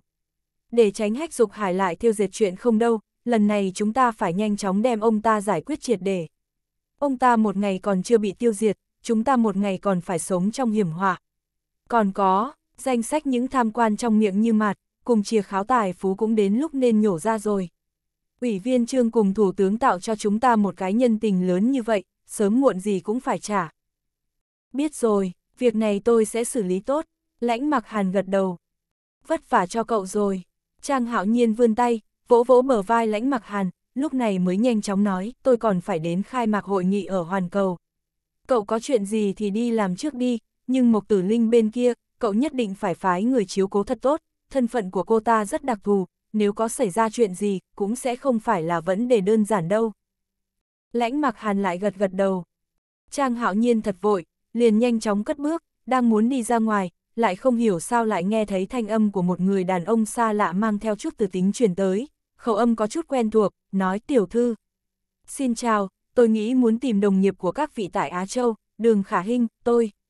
Tôi, tôi là người quan trọng của cô ấy. Trang hạo nhiên lập tức dừng bước, trên mặt có chút biểu tình không bình thường, xoay người, nhìn về phía quầy tiếp tân bên kia. chương 1189, giúp. Quầy lễ tân khách sạn Á Châu. Một người đàn ông ước chừng hơn 30 tuổi, cao hơn 1m8, mặc chiếc áo sơ mi kẻ ca dô cùng quần thường đồng màu, bên ngoài khoác chiếc áo lông mỏng. Khuôn mặt hơi chút điển trai lại bởi vì khí thức anh quá bình thường, vóc người có chút dung tục, chỉ thấy anh nhìn về phía cô gái sau quầy lễ tân, còn là bộc lộ mấy phần thái độ khiêm nhường, cười có chút khách khí. Đứng sau quầy lễ tân, ba nữ nhân viên mặc đồng phục váy màu trắng đồng thời ngẩng đầu nhìn về phía người đàn ông trước mặt này, phong thái cùng khí chất đều không phù hợp với nhân viên trong khách sạn, cùng với khách quý của khách sạn lại bất đồng quá lớn. Lúc này thân phận đường khả hình rất khác so với bình thường, trước không nói cô từng là giám đốc bộ rượu vụ, là học sinh của Vitus, riêng bây giờ cô là một trong ba người có điểm cao nhất trong cuộc thi chuyên gia hầu rượu, rất có khả năng sẽ trở thành quán quân, là người có cổ phần trang trại rượu của tập đoàn Hoàn Cầu. Mấy nhân viên lễ tân nho nhỏ các cô không thể tùy tiện đối xử, cũng không dám thông báo trước mặt người lạ. Tiên sinh, chào ngài. Trong đó một nữ lễ tân mặc dù trong lòng còn có nghi hoặc, nhưng vẫn bộc lộ gương mặt tôn kính tươi cười nhìn về phía người đàn ông trước mặt, vô cùng chuyên nghiệp mà thong thả, mềm giọng nói, đường tiểu thư đã từng là giám đốc bộ rượu vụ của tập đoàn Hoàn Cầu chúng tôi, thế nhưng lúc cô tham gia thi đấu đã xin nghỉ việc, bây giờ cô ấy không phải đồng nghiệp của chúng tôi. Nhưng bởi vì gần đây ở khách sạn Á Châu cử hành trận thi đấu phục vụ rượu quy mô lớn của thế giới, là khách quý của chúng tôi. Theo như quy định của khách sạn Á Châu, nếu như ngài có việc cần tìm tiểu thư đường khả hình, xin lấy chứng minh thư của ngài ra, chúng tôi trước tiên sẽ giúp ngài liên hệ với thư ký trưởng của Hiệp hội Rượu Nho, để cô ấy thông báo với tiểu thư đường khả hình. Xin hỏi ngài có mang theo chứng minh thư không? Người đàn ông này nghe đến đây, hai mắt chợt lóe, cúi đầu nghĩ ngợi một lúc liền vui mừng ngẩng đầu nhìn về phía nhân viên tiếp tân trước mặt cười rộ lên nói, nếu như không tìm được khả hình, nhã tuệ. Tôi muốn gặp Lưu Nhã Tuệ, nghe nói cô ấy đi làm ở khách sạn các người đúng không? Lời này vừa nói ra. Trang hạo nhiên nhíu mày nhìn về phía bóng lưng bình thường của người đàn ông này, thực sự nghi ngờ thân phận anh ta, nhất là khi anh ta nói tên của Khả Hinh cùng Nhã Tuệ, dường như rất quen thuộc, làm cả người thấy không thoải mái. Chậm rãi, vẻ mặt anh hiện lên sự không khách khí, hơi xoay người đi về phía thân ảnh trước quầy lễ tân kia. Ba nhân viên lễ tân nghe thấy người đàn ông xa lạ này cư nhiên đơn giản nêu tên Lưu Nhã Tuệ, lúc này mới có vẻ mấy phần kinh ngạc, lúc đang định hỏi thân phận của anh lại nhìn thấy phía trước có người nhanh chóng đi tới, các cô lập tức cả kinh lui về phía sau hai bước, cúi người hướng về phía người trước mặt có chút khẩn trương gọi, Tổng Giám Đốc. Người đàn ông kia nhìn thấy ba nhân viên lễ tân cúi người chào vô cùng tôn kính, gọi Tổng Giám Đốc, anh liền có chút nghi ngờ hơi xoay người. Vẻ mặt Trang Hạo Nhiên bộc lộ mấy phần nghiêm túc đi tới quầy lễ tân, ánh mắt khôn khéo di chuyển, nghiêng mặt liếc về phía người đàn ông bình thường kia giống như người qua đường giáp, trong đầu nghĩ ngợi xem anh ta rốt cuộc là bạn học nhà trẻ, tiểu học, trung học, cao trung của đường khả hình. Có lẽ nào là mối tình đầu, nhưng trông thế nào thì người đàn ông này, từ bên trong đế bên ngoài, từ quần áo đến khí chất chả có chút nào, thậm chí còn làm cho người khác nhìn có chút hèn mọn. Trang hạo nhiên cởi áo khoác, ống tay áo săn lên, cười như không cười, dáng vẻ như nhìn từ trên cao nhìn xuống người đàn ông trước mặt, trực tiếp không khách khí hỏi, tôi là Tổng Giám Đốc Tập đoàn Hoàn Cầu, là cấp trên của đường Khả Hinh. Xin hỏi, anh chính là người muốn tìm đường Khả Hinh, anh là gì của cô ấy? Bạn học hồi nhà trẻ, tiểu học, sơ trung, hay là, anh trai hàng xóm? Lời này hỏi ra có chút không khách khí, ba nhân viên lễ tân hiểu ra, hai tròng mắt lập tức mở to nhìn về phía Trang Hạo Nhiên. Người đàn ông kia xoay người nhìn về phía Trang Hạo Nhiên mặc âu phục phẳng phiêu màu đen, toàn thân toát ra khí tức quý tộc thượng lưu, phong độ nhẹ nhàng, nghiêm nghị khí thế, tỏa ra ánh sáng áp bách làm người khác có chút khẩn trương, nhất là lời nói kia không hề khách khí. Anh ta liền nở nụ cười xấu hổ, tay vỗ lồng ngực của mình vội vàng nói tôi. Tôi, tôi là anh trai của cô ấy. Tôi có chút chuyện muốn qua tìm em gái. Anh trai, Trang Hạo Nhiên nghe lời này nhịn không được châm chọc cười rộ lên, vẫn là không có lấy lại tinh thần nhìn về phía người đàn ông trước mặt, nhịn không được cười rộ lên nói thật là anh trai a Nhà trẻ, hay là hàng xóm? Vẻ mặt anh ta sừng sốt, hai tròng mắt sáng lên mang theo vài phần khiếp sợ nhìn về phía người đàn ông trước mặt. Phốc, tiêu đồng cùng lãnh mặc hàn đứng cách đó không xa, nhịn không được cúi đầu cười rộ lên. Mấy nhân viên lễ tân cũng mang theo vẻ mặt hết sức kinh ngạc nhìn về phía người đàn ông trước mặt. Trang hạo nhiên lại lộ ra vẻ mặt không thể tưởng tượng, hơi cúi đầu nhìn về người đàn ông trông rất bình thường này, gương mặt quả nhiên cùng đường khả hình có vài phần tương tự, trái tim của anh bỗng đập mạnh, chính mình có mấy lần còn đi quán cơm trưa của đường Khải Văn, mới mơ hồ nhớ tới bên trong bức tường thủy tinh nhìn thấy một bên mặt bận rộn của anh, cùng với người hôm nay quả thực có chút tương tự. Anh tức khắc bộc lộ vẻ mặt xấu hổ, có chút ngượng ngùng nhìn gương mặt người phía trước, vô cùng thất lễ cười rộ lên nói, xin lỗi, xin lỗi. Vừa rồi chuyện xảy ra nhanh chóng, không có nhận ra anh, nguyên lai like anh chính là anh trai của Khả Hinh, đường công tử. Đường ca ca, chào anh, tôi là Hạo Nhiên. Lúc này, tiêu đồng cùng lãnh mặc hàn cũng có chút tò mò nhìn về phía đường Khải Văn, cảm thấy cả người anh ta bình thường, khí chất quả thật không bằng em gái, nhất là về điểm giảo hoạt của thương nhân kia. Vâng, Tổng Giám Đốc Trang, chào ngài. Không ngờ, ngài còn nhớ người nhà của chúng tôi. Đường Khải Văn tức khắc hưng phấn nhanh chóng nói. Sao có thể quên, chú Đường là người mà cả đời tôi vô cùng tôn kính. Người nhà của ông chính là người nhà của tôi. Ngồi bên này, Khả Hinh vừa mới hoàn thành trận thi đấu lớn, đang nghỉ ngơi. Khả năng mất một lúc lâu, không thể đi ra nhanh như vậy. Trang hạo nhiên tức khắc mời đường Khải Văn hướng về phía khu uống cà phê lộ thiên nhã các ở giữa đại sảnh đi đến. Không có việc gì không có việc gì, biết nó vất vả, đường Khải Văn cũng nở nụ cười đi theo Trang hạo nhiên. Hai người cứ như vậy ngồi trên khu VIP lộ thiên. Trang hạo nhiên đầu tiên là dặn dò quản lý phòng ăn nhã các chuẩn bị một ít điểm tâm cùng cà phê thượng đẳng, lúc này mới tự mình ngồi trên sofa vươn hai tay mở nút âu phục của mình, vẻ mặt bộc lộ nụ cười khách khí nhìn về phía dáng vẻ kinh ngạc của đường Khải Văn đang nhìn xung quanh đại sảnh khách sạn. Hai tròng mắt anh lóe lên, còn là bộc lộ vẻ vô cùng tôn kính tươi cười, nói, khó có dịp anh đường hôm nay có việc muốn tới tìm Khả hình Đáng tiếc cô ấy vừa hoàn thành xong trận thi đấu lớn, sau đó lại bận chuyện yến hội đêm nay, có thể cùng anh thời gian không nhiều nhưng tôi tức khắc phái người đi thông báo. Tôi nghĩ anh em hai người gặp mặt, cô ấy nhất định rất vui vẻ. Chỉ là anh có chuyện gì cần tìm cô ấy, có tiện nói cho tôi biết không? Có lẽ tôi có thể làm thay. Lãnh mặc hàn nhìn lúc Trang Hạo Nhiên nói chuyện cùng anh trai khả hình, chính anh liền muốn quay người trở về tòa nhà Hoàn Á, lại theo thói quen trực giác nghề nghiệp nhịn không được dùng ánh mắt xem xét kỹ càng nhìn về phía đường Khải Văn. Đường Khải Văn lúc này cũng bộc lộ vẻ mặt không chút ý tứ nhìn về phía Trang Hạo Nhiên, trực tiếp cười nói ách, là như vậy. Tôi, tôi mặc dù lúc nhỏ liền cùng Khả Hinh có chút việc tách ra, nhưng tôi và em gái tình cảm rất tốt. Chính là chị dâu em ấy có chút không thích, nhưng tôi đối với đứa em này rất đau lòng. Hai tròng mắt Trang Hạo Nhiên lóe lên nhưng vẫn còn rất lễ phép cười gật đầu. Lần này tôi ở trên TV nhìn thấy em gái thi đấu quá đặc sắc. Mấy năm trước lúc cùng em ấy gặp mặt, em ấy nói muốn tham gia thi đấu, chị dâu em ấy còn vẻ mặt coi thường, lần này xác thực biết em ấy thật sự lợi hại. Tôi làm anh trai cũng cảm thấy cao hứng. Đường Khải Văn do dự một hồi, lại tiếp tục nhìn về phía Trang Hạo Nhiên cười rộ lên nói, tôi lần này tìm em ấy, nguyên nhân là nghe nói vòng thứ ba trận thi đấu lớn, quán ăn của chúng tôi cũng có thể trúng cử, liền hy vọng em gái trong lúc dự thi nói nhiều lời hay tốt đẹp cho quán ăn chúng tôi, phải biết rằng hiện tại kinh tế đất nước không tốt, sức cạnh tranh quá lớn. Chúng tôi không làm chút chuyện không được. Trang hạo nhiên nghe lời này, hai tròng mắt không khỏi lại lóe lên, mặt hơi thu lại nhưng vẫn là mỉm cười nhìn về phía đường Khải Văn, chậm rãi gật đầu nói, thời gian gần đây, quả thật toàn cầu kinh tế đều bị ảnh hưởng. Anh vì quán ăn nhất định rất phiền. Ai muốn đọc phun trước liên hệ, nhé, vâng. Đường Khải Văn chỉ phải bất đắc dĩ cười rộ lên nói, chị dâu Khả Hinh bảo tôi đến tìm Khả Hinh trở lại ăn một bữa cơm. Nói thế nào đều là người một nhà, tôi nói dự đoán em ấy bận, cũng chỉ có thể tự mình đến tìm. Ngoặc kép chấm chấm chấm chấm chấm chấm chấm chấm chấm ngoặc kép. Trang hạo nhiên hơi trầm mặc nhìn đường Khải Văn cảm giác tức giận, nhưng vẫn là cười rộ lên nói, khó được anh em hai người tình thâm, còn có thể nghĩ cho đối phương.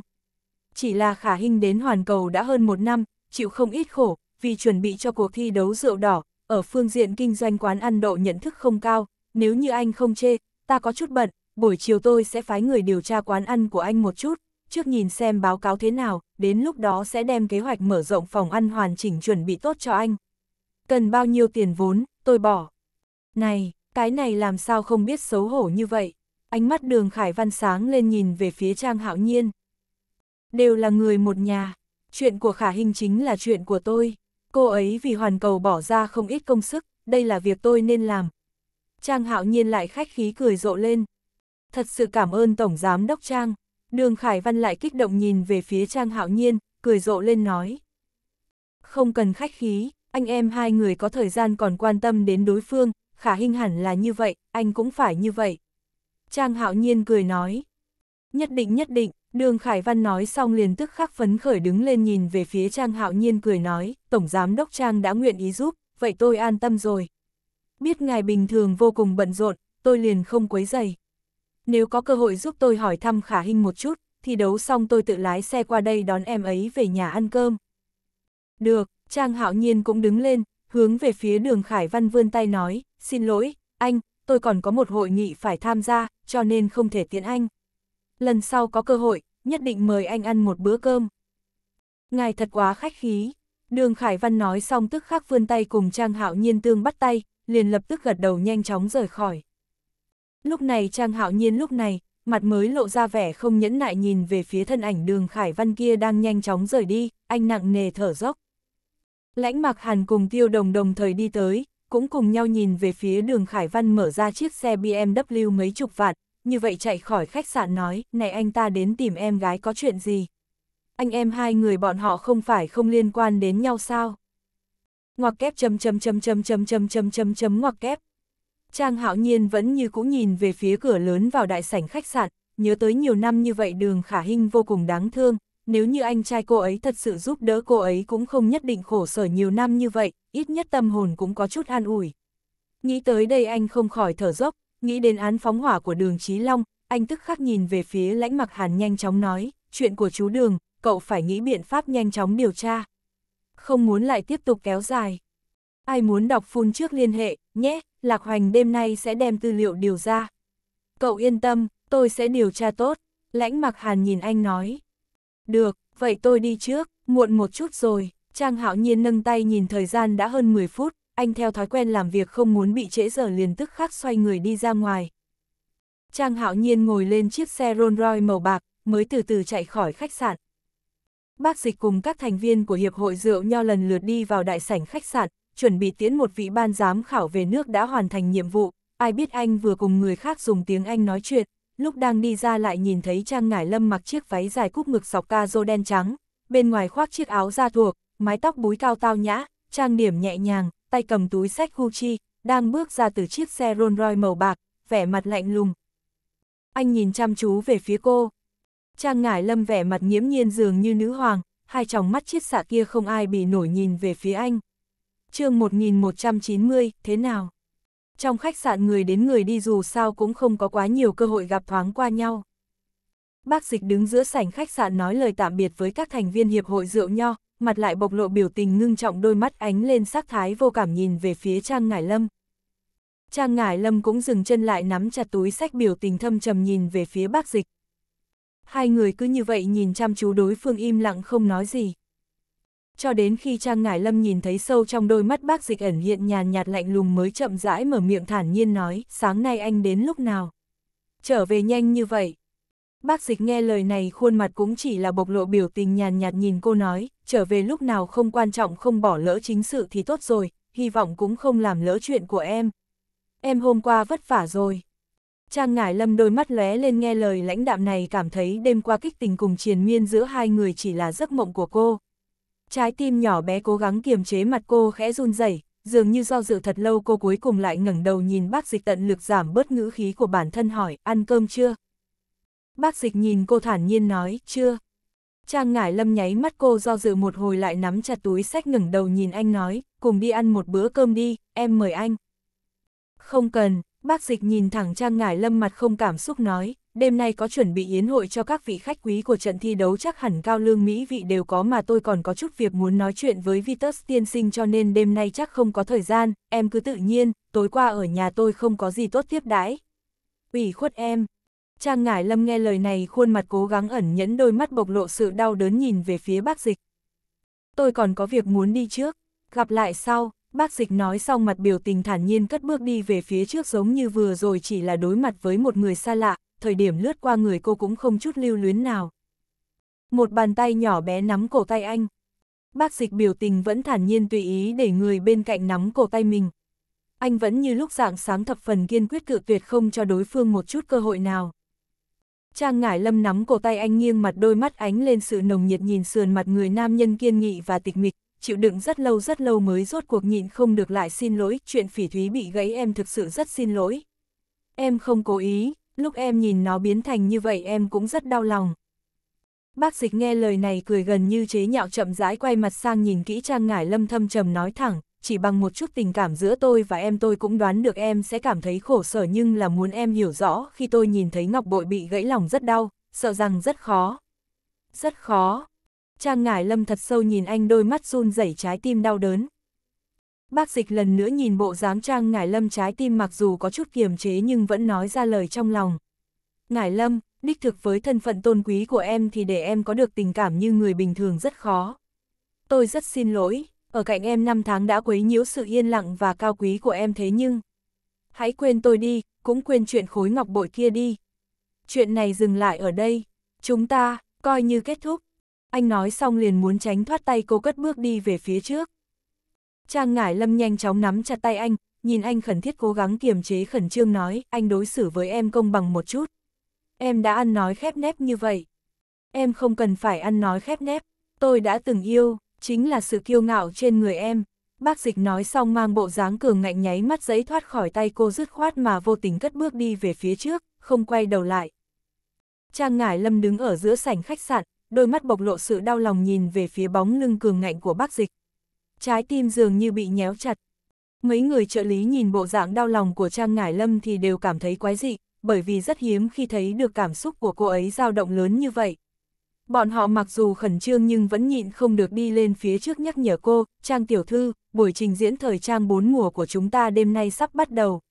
9 giờ ngày mai cô phải quay lại Paris hay là cô cứ đi nghỉ ngơi trước một chút? Trang Ngải Lâm vẫn như cũng nhìn về phía bóng lưng cứng rắn của bác dịch đang nhanh chóng đi khỏi đại sảnh, thật lâu thật lâu. Hoàng hôn sắp đến. Thời điểm mặt trời đẹp nhất hơn nửa thân ảnh từ từ lặn xuống rơi vào trong biển rộng, bãi biển lập tức mang một màu kim hoàng chói mắt, thật lãng mạn. Một chiếc Rolls Royce màu bạc vội vàng dừng trước đại sảnh khách sạn. Trang Hạo Nhiên nhanh chóng xuống xe, bởi vì nhớ tới tình huống thân thể đường khả hình nên vừa họp xong liền lập tức vội vã trở về. Hắn nhanh chóng đi vào trong muốn về nhà tắm rửa rồi thuận tiện trông thấy lão bà, ai biết trên mặt vừa bộc lộ biểu tình phấn khích liền bị chiếc điện thoại di động trong túi làm mất hứng. Anh lập tức nhận điện thoại, hỏi, ai vậy? Tôi hiện tại không có thời gian. Lập tức đến đây cho chị. Xúc sinh đáng chết này. Chị cần được giúp đỡ. Giọng Trang Ngải Lâm nhanh chóng truyền đến. Trang hạo nhiên dừng cước bộ cầm di động hơi không hiểu hỏi chị, với thân phận tôn quý của mình thì có việc gì chị không giải quyết được. Nếu chị có việc không xử lý được thì có thể sai người khác làm. Ít nói nhảm, có thể tìm được người khác chị còn tìm em làm gì. Nếu như chị có thể nhận người khác làm em thì cậu đã chết từ lâu rồi. Nhanh lên, thanh âm kia chấn động rung trời. Trang hạo nhiên cầm di động cảm giác màng nhĩ mình chấn động. Anh bất đắc dĩ lo nghĩ không biết chị rốt cuộc có chuyện gì. Ai muốn đọc phun trước liên hệ, nhé khách sạn Á Châu tổng cộng có 3 phòng tổng thống. Một là phòng tử hiền từng ở, hai là của Trang Hạo Nhiên còn một phòng gần tầng chót chỉ chuyên dụng cho hoàng thất quý tộc, vị trí mặc dù không đẹp như của Trang Hạo Nhiên nhưng diện tích chiếm cả tầng lầu lên tới một vạn mét vuông. Nội thất toàn bộ theo thiết kế châu Âu thậm chí cửa sổ màu trắng hình vòng còn chạm khắc hoa theo phong cách La Mã cổ khảm vô số dạ Minh Châu giá trị liên thành. Giá ở đây một buổi tối khoảng 30 vạn hoàn toàn chính là đốt tiền.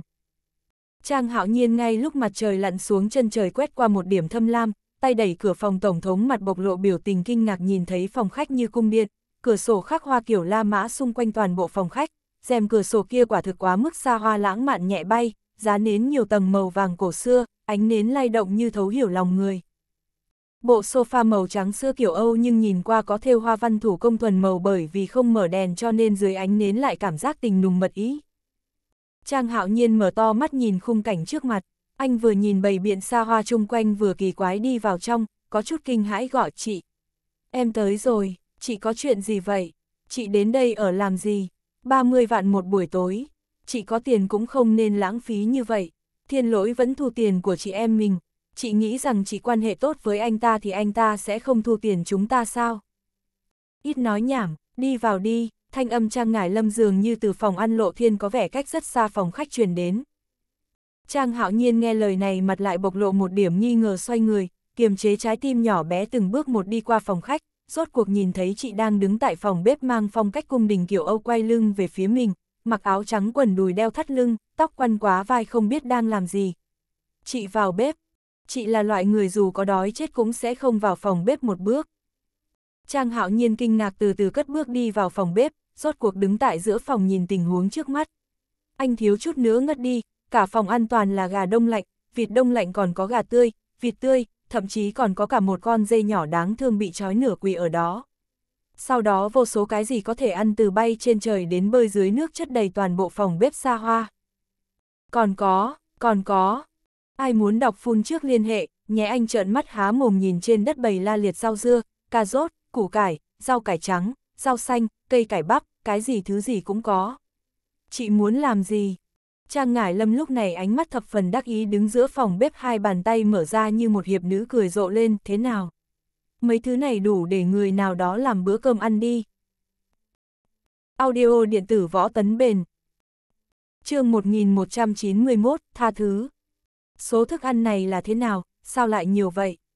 Trang hạo nhiên mở to mắt ra, cúi đầu nhìn về phía những nguyên liệu đặt bên vòi nước, lại thấy chị gái mình đang loay hoay với chúng, hết sức ngạc nhiên. Đừng bận tâm, Trang Ngải Lâm nhìn về phái em trai, rất nhanh cười đắc ý nói, ở đây là số nguyên liệu cần thiết cho bữa ăn hôm nay. Chị sẽ nấu ăn, chị tuyệt đối, tuyệt đối, sẽ không như những cô tiểu thư vụng về thường diễn trên TV đâu, động một chút là đứt tay. Chị sẽ làm được, sẽ nhanh thôi. Trang hạo nhiên thực sự muốn khóc, miễn cưỡng cúi đầu nhìn này đó nguyên liệu nấu ăn, có tươi, có sống, ngay cả thịt bò cũng mua mấy chục loại. Pháp, Tây Ban Nha, Australia, anh thở dài, nói chị yêu quý à. Thân phận tôn quý, muốn ăn thì sẽ có người hầu hạ. Nếu như không muốn đến nhà hàng thì có thể cho đầu bếp đến tận nơi chế biến rồi đưa lên đúng không? Sao chị lại nhọc công như thế chứ? Không được gì cả, Trang Ngải Lâm nghiến răng nhìn về phía Trang Hạo Nhiên, ngửa mặt nói, nếu chị có thể để cho đầu bếp làm rồi đem đến, chị tại sao phải vất vả như vậy? Chị chính là muốn tự tay mình nấu, như vậy mới có thành ý. Trang Hạo Nhiên lại mở to mắt, nhìn về phía chị. Nhìn cái gì vậy? Trang Ngải Lâm cũng cảm thấy có chút xấu hổ, xoay người, mặt hướng về vòi nước rửa thật nhiều cá, mới nhịn không được nói chị. Chị vừa nhìn thực đơn, nhưng chị không thể hiểu được các công thức nấu ăn, tiếng Trung của chị không tốt lắm. Trang hạo nhiên liếc quyển sách trên bàn, bật cười nói chị. Quyển sách kia là viết bằng tiếng Anh. Trang ngải lâm một trận lợi đỏ mặt, vẻ mặt phẫn nộ nhìn chằm chằm em trai, nói chớ nói nhảm nhiều như vậy. Chị muốn làm món Tây, em dạy chị. Trang hạo nhiên thở dốc, nhìn về phía chị bộ dáng này, vừa nói mềm nhũn uể oải nói chị à. Em hôm nay vì trận thi đấu, cũng đã mệt mỏi cả ngày. Chị bảo em dạy chị, chỉ bằng để em nấu cho chị ăn. Không cần em giúp, chị tự mình làm, Trang Ngải Lâm sẵn giọng nói. Cô chợt nhớ đến bác dịch, tim đập hơi nhanh, và chết tiệt, hôm nay chuyện ở vườn nho, vẫn không ngừng nhớ tới hôm qua hai người lúc cùng ủ rượu, bác dịch ôn nhu nhìn về phía mình, sau đó lại còn vuốt ve sóng lưng mình. Trang hạo nhiên ném âu phục lên trên ghế, lúc này mới xén ống tay áo, vừa nhìn chị nghi ngờ hỏi, chị rốt cuộc làm cơm cho ai, sao lại chu đáo như thế?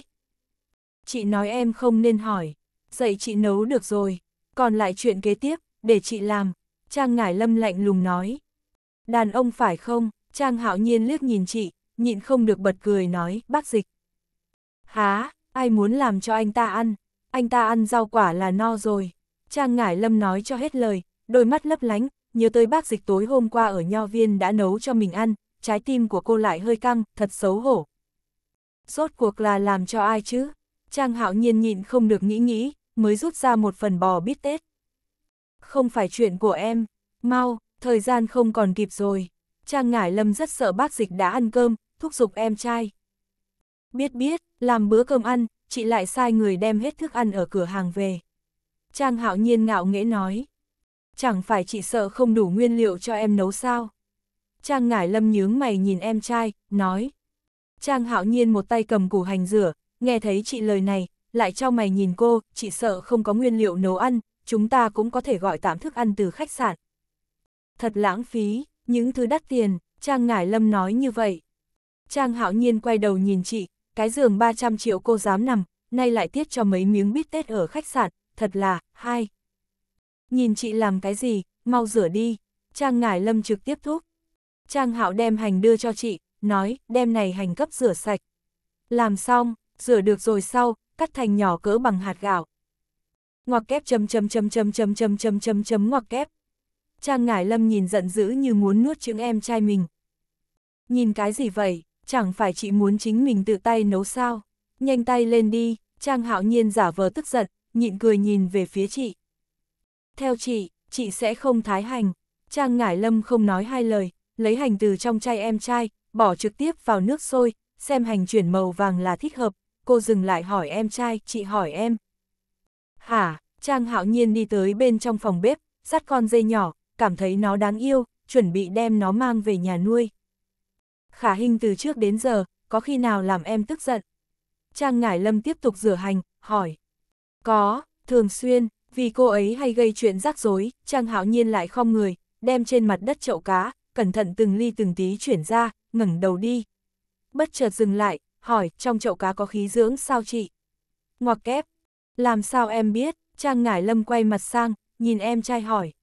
Chị nhiều tiền à? Trang Hạo Nhiên ngẩng đầu, kinh ngạc nhìn về phía chị. Chị nhiều tiền cả thế giới đều biết. Trang Ngải Lâm lại nhìn về phía em trai kêu lên. Thật là chịu không nổi chị. Trang Hạo Nhiên đành phải tốn sức kéo đem cá cấp chuyển ra. Em trả lời cho chị biết trước. Trang Ngải hỏi, nếu như Khả Hinh chọc giận em, cô ấy nhất định không có xin lỗi đúng hay không? Cũng nhất định không biết nấu ăn cho em ăn đúng hay không? Cũng tuyệt đối sẽ không nói tốt, đúng không? Thậm với tuyệt đối sẽ không ăn nói khép nép, phải không? Cũng là bởi vì cao cao tại thượng, em mới có thể như thế thích cô. Phải không? Chị nói cái gì a? Trang hạo nhiên đang thu dọn trong bếp, nhớ tới lúc đó cùng đường khả hinh vừa mới quen biết lúc, lòng của anh liền ngọt ngào, nhịn không được mặt hạnh phúc tươi cười nói, cô ấy tại thời điểm đó có thể xem là tốt, và nếu làm điều gì sai, cô ấy sẽ ngoan ngoãn xin lỗi, nhưng cũng giống như một cái đuôi, như thế, mỗi ngày, theo em. Em đối xử với cô lạnh lùng, cô đã khóc, em ở trong lòng cô ấy, và cha cô là người quan trọng không kém. Chị không biết, vào thời gian đó, cô ấy đã dỗ tôi hạnh phúc, ăn sáng hàng ngày, làm cho nhiều món ngon, cả mật ong ngọt ngào. Em nghi ngờ cô ấy sẽ rơi vào tình yêu với em, cô ấy chỉ không biết. Ngoặc kép, có người bắt đầu đắc ý ảo tưởng. Trang ngải lâm tay rửa hành dừng lại, lúc này mới quay mặt sang, nhìn chặt em trai nói cô ấy thực sự là không có khí phách. Trang hạo nhiên nhất thời ngẩng đầu, nhìn về phía chị, cười rộ lên nói, trong chuyện này, chị sẽ không hiểu được đâu.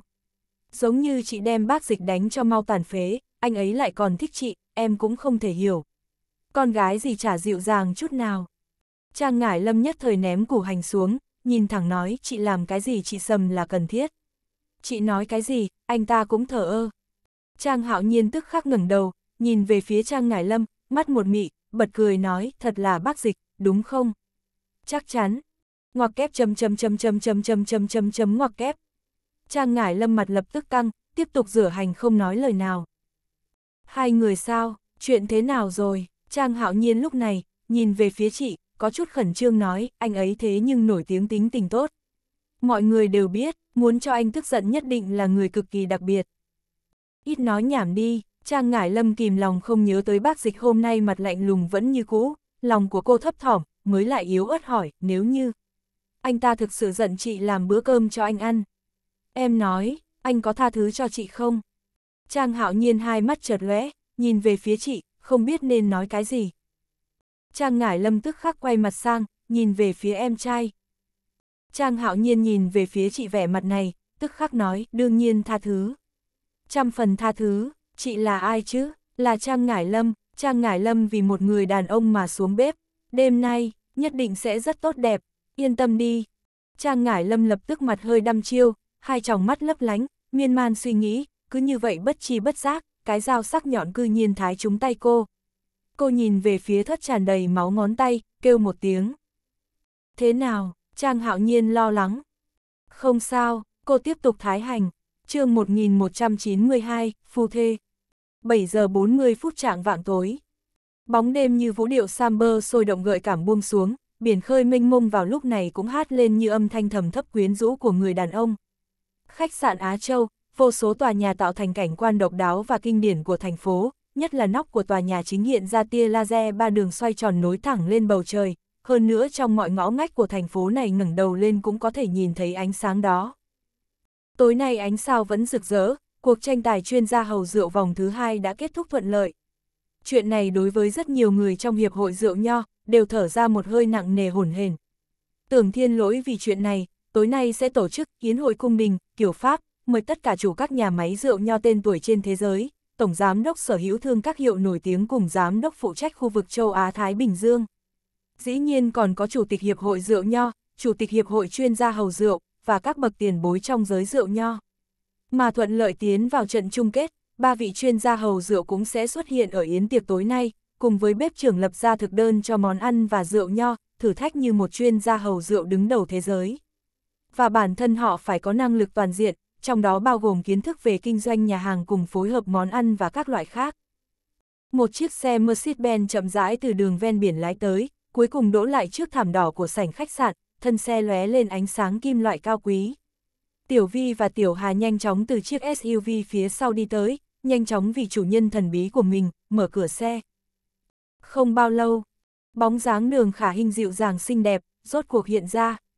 Tối nay cô mặc chiếc váy dài hở lưng màu đen gợi cảm, bên ngoài khóa áo lông cáo ngắn màu đen, kiểu tóc búi lên tinh xảo hiếm thấy cùng lối trang điểm khói tím ngoài hương hết sức lộng lẫy. Đêm nay cô có chút hơn hẳn người phụ nữ phương Tây bí ẩn quyến rũ. Trên môi cô luôn nở nụ cười tươi tắn ngọt ngào động lòng người, tay cầm ví da cá sấu Chanel số lượng có hạn, bước đi trên đôi giày cao gót màu đen hơn 10cm, cảm giác giống như viên kim cương lay động tỏa sáng lấp lánh, dừng lại trước thảm đỏ. Khách qua lại có chút sướng sờ khi nhìn thấy cô, nhất là đàn ông. Đường tiểu thư, xin mời, giám đốc tổ chức yến hội cung đình, mỉm cười mời đường khả hinh đi vào trong khách sạn. Đường khả hinh mặt hơi nâng lên chính thức nở nụ cười, gật đầu một cái, tay mang ví cầm tay, cùng giám đốc và ba bộ trưởng tiến vào, bước chân nhẹ nhàng tao nhã theo nhịp, mặc cho tà váy dài mập mờ mà hấp dẫn dập dờn ở mắt cá chân. Yến hội cung đình được tổ chức ở hội trường cổ điển tầng 38. Hội trường Yến hội cung đình là phòng yến hội số 1, tiêu chuẩn cao hơn hẳn so với nhà hàng, cấp bậc giám đốc được đếm đến cấp 7, tương đương với cấp bậc phó tổng giám đốc, hơn nữa đại đa số thời gian hội trưởng Yến hội cung đình đều đóng kín. Chỉ có đại tiệc hết sức quan trọng mới có thể được cử hành ở hội trưởng Yến hội cung đình. Đây là nhà hàng Tây cao cấp bậc nhất, ở bên trong được trang hoàng toàn bộ phòng theo lối xây dựng cung điện truyền thống nước Pháp. Bên trong không chỉ có bức tranh sơn dầu Napoleon vô giá, còn có chén đĩa đồ cổ khảm ngọc trai thời nhà Minh. Và thương hiệu cao cấp thế giới Christopher, thương hiệu dụng cụ ăn uống đẳng cấp được hoàng gia sử dụng phổ biến, hoàng đế Pháp Louis Philippe, Bill Gates, Tom Cruise càng đối với thương hiệu này cực kỳ xứng đáng lọt vào mắt xanh. Thang máy tầng thứ 38 từ từ mở ra. Đường khả hình từ tốn nhẹ nhàng nâng tà váy dài, khuôn mặt lộ ra nụ cười ấm áp bước ra. Vào lúc chập tối nay, cô đã đến hội trưởng Yến hội cung đình một lần, đã gặp mặt qua bếp trưởng, cô hôm nay phụ trách phần khách quý, là người phụ trách phần khách quý thuộc về những nhà máy rượu nho đẳng cấp thế giới. Cho nên lúc ở trên đường, trong đầu cô đã lập ra thực đơn hoàn mỹ cao cấp kiểu Pháp, bếp trưởng cũng hết sức tán thành ý tưởng toàn vẹn này của cô, liền theo thực đơn này chế biến món ăn. Tối nay cô một lần nữa lại đến, chính là để nếm thử thức ăn, kiểm nghiệm xem thức ăn cùng bản thân rượu vang phối hợp có ngon hay không. Lượt rượu khai vị đầu tiên, đường khả hình chọn một loại rượu trong nước, rượu băng trên Jill Golden Valley IY. Đối với nhóm rượu nho đứng đầu trong nước, Golden Valley IY chất lượng hoàn toàn đạt tới tiêu chuẩn giống nho và rượu nho quốc tế, thậm chí còn vượt qua tiêu chuẩn rượu Canada Kingsland IY. Nó đặc biệt có ong mật, mứt táo, trái mơ, dứa và các hương thơm phức tạp khác hợp lại, hài hòa làm cho tâm tình người thưởng thức không tự chủ cảm thấy thoải mái. Nó thể nghiệm rằng điều kiện tự nhiên đặc biệt nước ta có thể nuôi dưỡng nên một lọ ai rượu tuyệt vời. Một loạt tiếng bước chân rộn ràng truyền tới. Đường Khả Hinh đang ở hội trường yến tiệc cùng với giám đốc và bộ trưởng cùng đi, bước trên tấm thảm ba tư quý giá rực rỡ, khuôn mặt cô lộ ra nụ cười ngọt ngào và ánh mắt xinh đẹp chuyên nghiệp. Nhìn xung quanh phòng ăn cung đình kiểu Pháp, sự bố trí so với nhà hàng Tây dày đặc hơn, cách mấy bước, trên tường treo những bức tranh của các danh họa nổi tiếng thế giới. Khăn trải bàn được dùng ngọc trai mà thêu thành, trải dài trên những chiếc bàn dài kiểu cung đình, ở trên là bộ đồ ăn kinh điển Christopher. Trước kia luôn được đặt ở bảo tàng của hoàn cầu, tối nay bảo vật hạng nhất xuất hiện, được bố trí bày ra trên bàn ăn những cái ấm kiểu Pháp lóe lên tia sáng bạch kim. Bản thân nó thiết kế rất độc đáo, một pho tượng thần rượu bằng bạc trông rất sống động gắn trên bề mặt ấm, làm người thưởng thức ẩm thực thấy ngon hơn, họ cũng không thể không có chút thưởng thức bộ đồ ăn, mà tấm tắc tán thưởng. Đường khả hình mỉm cười, theo kia những chỗ ngồi xa hoa mà tôn quý khoảng cách dày đặc, từ từ bước vào trong, chợt cảm thấy gió biển theo cánh cửa số nào đó lướt nhẹ bay vào, với âm thanh vui vẻ chậm rãi cô nói. Vị mặn của thức ăn sẽ làm giảm xuống vị ngọt cùng vị đắng của rượu, còn có vị chát. Mặc dù gió biển mang một chút mặn cũng sẽ không thật sự ảnh hưởng tới rượu băng khai vị. Nhưng đối với sự sành sỏi của khách quý với rượu ngon cùng mỹ thực, nhất định bọn họ sẽ chú ý đến chi tiết biến hóa nhỏ xíu này. Cho nên sau khi chính thức vào bữa tiệc, lúc đó cửa sổ có thể đóng lại một chút, hương thơm lily và các loại hoa khác, tuyệt đối không được tới gần. Được, giám đốc Yến Tiệc lập tức mỉm cười gật đầu trả lời. Đường khả hình lại tiếp tục bước đi về phía trước, đối với thức ăn ngon nàng tự mình có một nhận xét, từ lời dạy dỗ của cha, biết được rượu nho tuân theo sự phối hợp chặt chẽ của truyền thống, tức là thịt trắng phối hợp với rượu nho trắng, thịt còn lại phối hợp với rượu nho đỏ. Cũng giống như thể rượu Pinot Noir tương đối duyên dáng thì có thể đánh vỡ món ngan ngỗng phải phối hợp với rượu ngọt Pháp thậm chí cô biết khi thưởng thức thịt có thể lợi dụng rượu nho làm giảm bớt độ béo của nó. Hay là từ chỗ cha học được, trong đó chất tannin trong rượu nho mang theo điện tích âm có thể trung hòa các protein trong thịt như thịt bò bít tết, làm sợi thịt mềm dần, sau đó nó có thể xúc tiến nhanh hơn việc đốt cháy mỡ. Đây chính là nguyên nhân vì sao đường khả hình thường xuyên thưởng thức các loại thịt heo, thịt bò bít tết, trong lúc chờ đợi cô sẽ uống một hớp rượu nho nguyên chất. Đầu bếp trưởng đã sớm đợi trước cửa phòng bếp, nhìn về phía đường khả hình nở nụ cười. Đường khả hình cũng ngay lập tức nhìn về phía bếp trưởng, khuôn mặt lộ ra nụ cười hết sức kính trọng, sau đó khi đang đi cùng mọi người cô bước ngay vào phòng bếp, đây là lần thử thức ăn cuối cùng. Trong quá trình này, cô không có phát hiện ra, phía trước tấm màn lụa mỏng màu tím nơi ánh sáng rơi xuống không tới chỗ bàn ăn, có một bóng dáng nhàn nhạt, Tưởng Văn Phong tối nay mặc một bộ âu phục chỉnh tề màu đen, hiếm khi để kiểu tóc ngắn vuốt lên trán nhìn rất trưởng thành và thời thượng. Anh lộ ra dáng vẻ hết sức tài hoa cùng khuôn mặt mang vẻ quyến rũ bí ẩn của đàn ông phương Tây. Đôi mắt anh như thường ngày lóe lên thứ ánh sáng thiên tài mà cách một đời cũng không đoán ra được, nhìn về phía bóng dáng xinh đẹp của đường khả hình đi vào phòng bếp. Ngăn cách bởi con đường cửa thủy tinh lờ mờ kia, có thể thấy rõ bóng dáng mềm mại của cô, nhất là cặp mắt to thiện lương động lòng người, thời điểm đưa mắt nhìn người khác, không biết có bao nhiêu chân thành cùng mập mờ, đưa mắt nhìn lâu, không khỏi bị đôi mắt dịu dàng của cô hấp dẫn. Khuôn mặt anh lộ ra nụ cười vui vẻ, đưa tay ra vén màn lụa mỏng màu tím, đôi mắt lóe lên ánh sáng lấp lánh mập mờ, nhìn về phía đường khả hình ở bên trong. Đường khả hình đứng giữa rất nhiều món ăn ngon, khuôn mặt lộ ra nụ cười ấm áp động lòng người. Đưa bàn tay ngọc thon thon, nhẹ nhàng cởi găng tay lụa màu đen, nhận lấy lát bánh mì ý nướng cà chua hương thảo mà bếp trưởng đưa cho, phía trên có nhỏ vài giọt dầu ô lưu ý nguyên chất. Nhìn cô giống như một cô gái pháp thùy mị vậy, tay nâng lát bánh mì lên, nhẹ nhàng mở miệng cắn thử một miếng, nhất thời cảm thấy mùi thơm tinh tế của dầu ô lưu phối hợp với lát bánh mì cà chua, giống như đang nhấm nháp mùi vị của mặt trời vậy, làm cho tâm tình của cô trở nên sảng khoái, nở nụ cười hài lòng. Đầu bếp trưởng lập tức mỉm cười vì cô nâng lên một ly rượu nho hồng phấn sản xuất hạn chế để phối hợp, Đường khả hình hớn hở nhận lấy, đầu tiên ăn một miếng bánh mì, sau đó chậm rãi ngửa mặt thưởng thức ly rượu nho hồng phấn. Ngay lập tức cảm nhận được hương thơm của rượu mang rất nhiều mùi trái cây, tựa như đem sự quyến rũ của bờ biển này hiện ra hết. Cô thật sự xúc động mỉm cười, tựa như khoảnh khắc của sự hạnh phúc vậy, nhẹ nhàng mà thỏa mãn. Tương văn phòng im lặng không lên tiếng, mặt liên tục lộ ra vẻ mập mờ toan tính, từ từ bước đến bên cửa phòng bếp. Anh nhìn thấy một bên gương mặt của đường khả hình, cô đang nhận lấy một chiếc muỗng, nhẹ nhàng thưởng thức món thạch dừa bảy sắc cầu vồng ở trên đĩa mà bếp trưởng dày công chế biến vị yến hội, phối hợp với miếng ngan ngỗng nhỏ. Khi cô thưởng thức ngan ngỗng phối hợp với thạch dừa, nhất thời bản thân món ngan ngỗng này mang cho người khác cảm giác đạt đến cực điểm giống như phiêu du trong hương khí cõi tiên, nhưng bị vị ngọt thạch dừa mang đến cao độ nhất định. Thậm chí khi cô nhận lấy vườn nho trắng ngọt hoàng gia Hungary, nhẹ nhàng thưởng thức, loại cảm giác mùi thơm hoa cỏ nhẹ, thật sự vô cùng hưởng thụ. Cô không nhịn được mà cười rộ lên. Đầu bếp trưởng lần nữa vì cô sử dụng công thức cao cấp, lấy phần thịt má bò nấu thành một món ẩm thực đỉnh cao. Đường khả hình nếm từng món từng món một, trong đó cô hiểu rõ từng món ăn, cô bắt đầu có cảm hứng cho tối nay và sau đó thay thế rượu thượng hạng. Ẩm thực Pháp là hệ thống ẩm thực phương Tây có ảnh hưởng lớn nhất thế giới, nhất là khi Louis XIV đạt tới đỉnh cao, bầu không khí ẩm thực trong cung đình xa hoa hết sức được chú trọng. Về sau, sau cuộc cách mạng Pháp, tất cả các loại phương thức nghệ thuật ẩm thực bắt chiếc tầng lớp quý tộc chảy vào dân gian, mà lúc yến hội cung đình được tổ chức, các chủng loại món ăn lên tới 64 món. Đường khả Hinh nếm món cuối cùng, cá hồi chiên giòn vàng rụm, cô lại không uống rượu, và mời mọi người thay nhau thưởng thức món ăn, bởi vì khi rượu nho kết hợp với thức ăn hải sản sẽ làm hải sản lộ ra mùi tanh, thậm chí có thể sinh ra một loại cảm giác kim loại dì xét khó có thể chấp nhận được, hết sức không hài hòa. Những người khác cùng giám đốc và bếp trưởng thưởng thức cá hồi và sau đó uống rượu vang trắng khô chắc đô nay, họ đều cảm thấy hết sức hài hòa, dối rít gật đầu. Đường khả hình nhìn bọn họ hài lòng, cô cũng mỉm cười. Tiếp đó sau khi thưởng thức bữa điểm tâm kiểu Pháp, chính là lượt rượu mạnh, trong đó dùng port wine và whisky vì chúng phổ biến. Đường khả hình lại bắt đầu chuẩn bị thưởng thức từng món một, thì nghe được cửa bang một tiếng mở ra, cô hơi bối rối một chút quay mặt sang, nhìn thấy tưởng văn phong tối nay trưởng thành đẹp trai, lại mang một chút khí chất công tử ngang tàng. Mặt anh nộ ra nụ cười, lúc nhìn về phía cô đôi mắt kia mập mờ làm bản thân cô cảm thấy có chút không thoải mái, nhưng ngay lúc có một chút ấn tượng tốt với anh.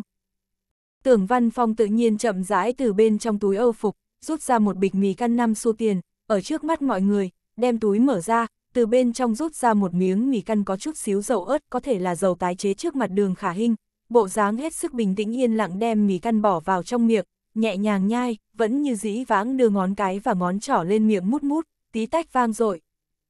Đường khả hình cùng mọi người cùng nhau trợn to mắt há ngoác miệng nhìn anh.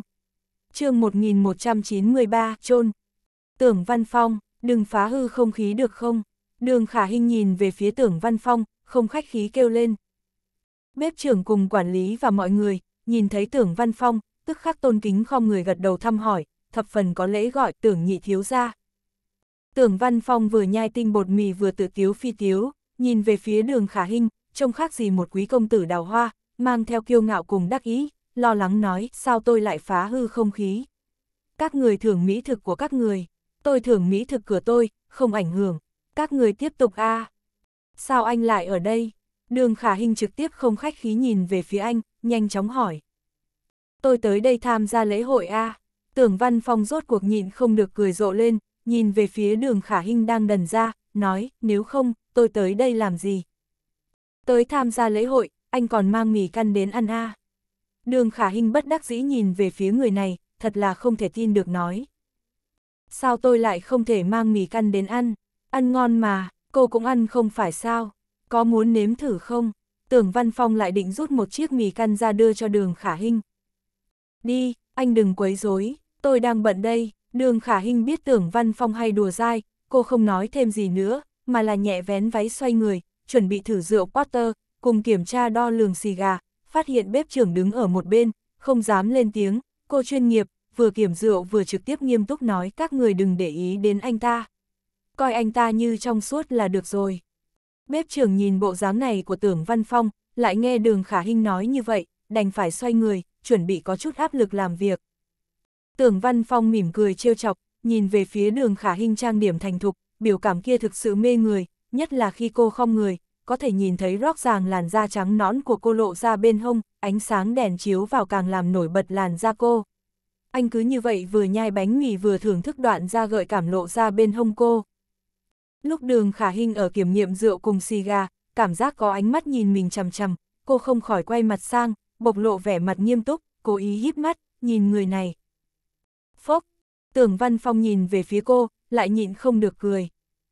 Nhìn cái gì vậy? Đường khả hình tức giận liếc anh một cái, lại tiếp tục xem kiểm tra đo lường rượu Potter.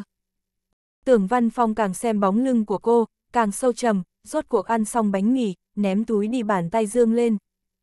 Trưởng phòng hành chính cùng mọi người nhìn thấy thủ thế này của anh, tức khắc thức thời trầm mặc ly khai, ngay cả ba vị trợ lý cùng đi với đường khả hình, cũng nhanh chóng lắc mình ly khai. Đường khả hình lại vẫn như cũ ở đưa lưng về phía mọi người, cầm lên một cây hoàng đình xì gà, đưa tới mũi người người, lập tức cảm giác mùi thuốc lá vị bệnh quá nặng, cô tức khắc cầm xì gà, xoay người, chuẩn bị nhìn về phía trưởng phòng hành chính tổng chủ, tôi phát hiện xì gà này.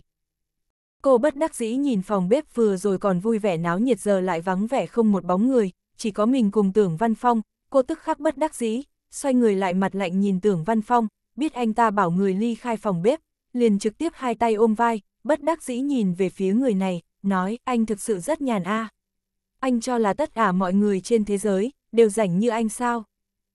Tưởng Văn Phong nhìn đường khả hình nói lời này, lại nhịn không được cười rộ lên, bởi vì trong miệng không có bánh mì để nhai, liền muốn đi lấy một khối cá hồi thủy tinh bỏ vào trong miệng. Ba, đường khả hình tức khắc vươn tay, vuốt ve tay anh, tàn bạo nói ăn cống ngầm dầu gì đó. Đừng lãng phí mỹ thực.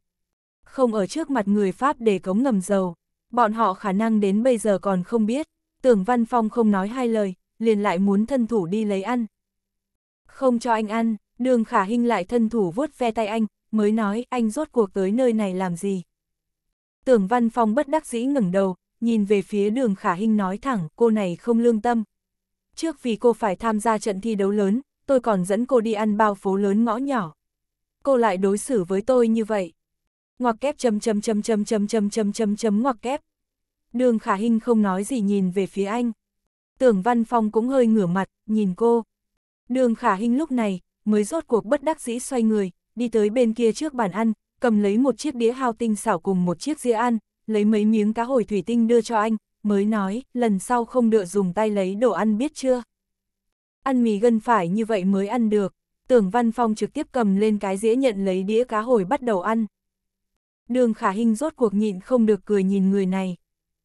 Tưởng Văn Phong vừa ăn cá hồi, vừa nhìn đường khả hình giống như người chị đang giáo huấn đứa em trai ngỗ ngược của mình, anh tức khắc cũng bộc lộ một điểm bướng bỉnh tươi cười, nói với cô kỳ thực tôi vẫn có chuyện muốn hỏi cô. Nghe nói, cô cùng ta trang ca ca là thanh mai trúc mã. Vậy cô hồi bé, có nhớ hay không ở tưởng ra, còn có một ca ca. Đường khả hình biểu tình quái dị, nhìn về phía tưởng văn phong.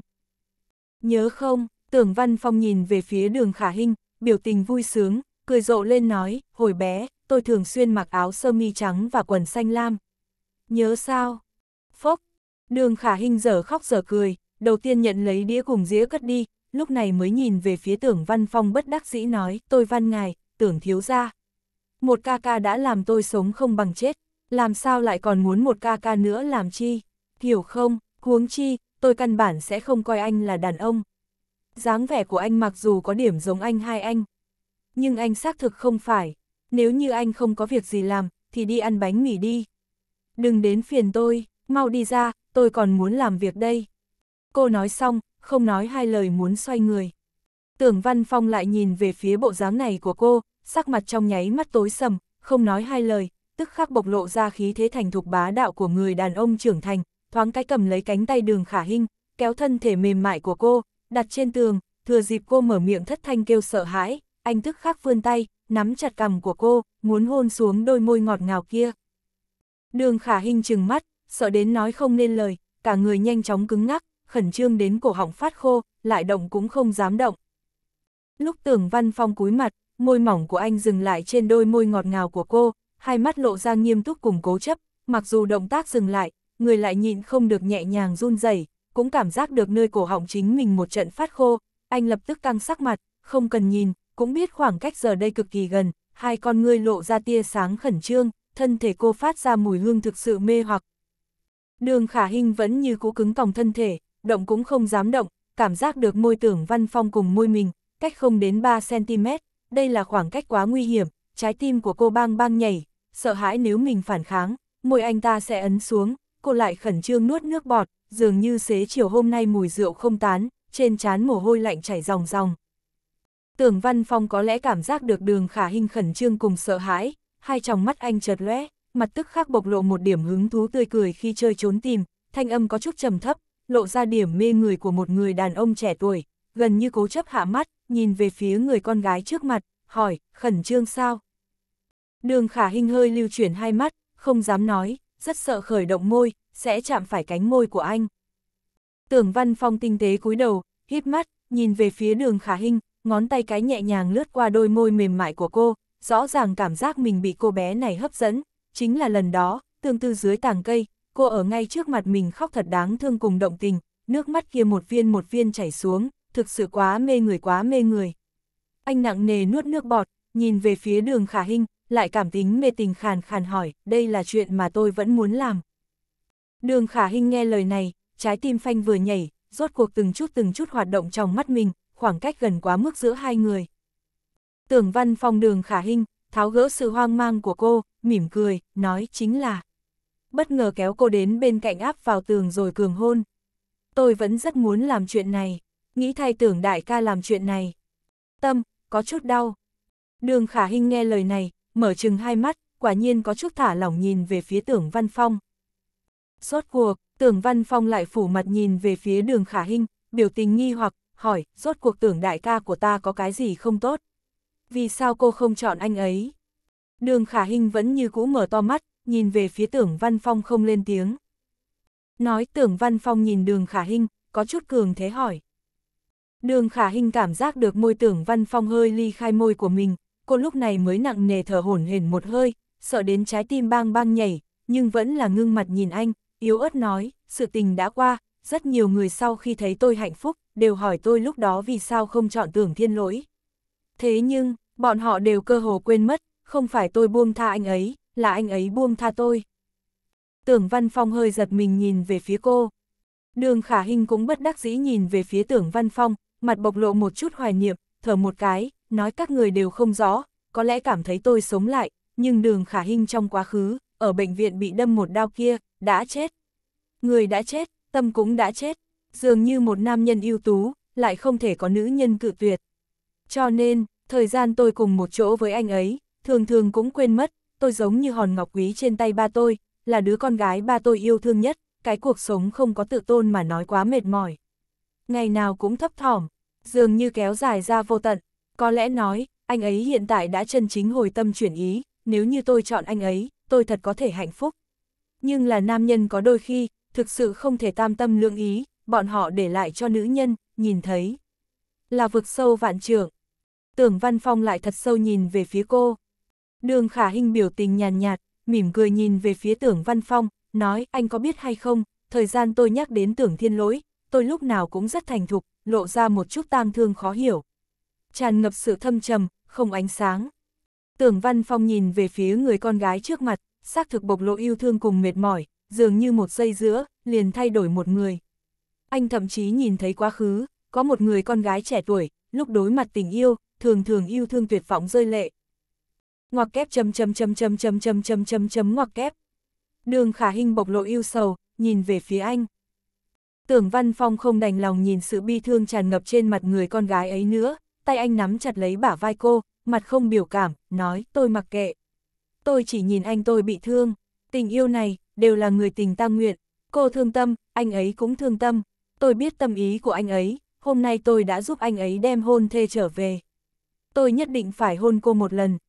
Đường khả hình vừa nghe lời này, mặt tức khắc khôi phục bộ dáng hổ cái, thoáng cái mở to mắt, nhìn chằm chằm trước mặt, vẫn có chút khẩn trương sợ hãi kêu to, anh dám.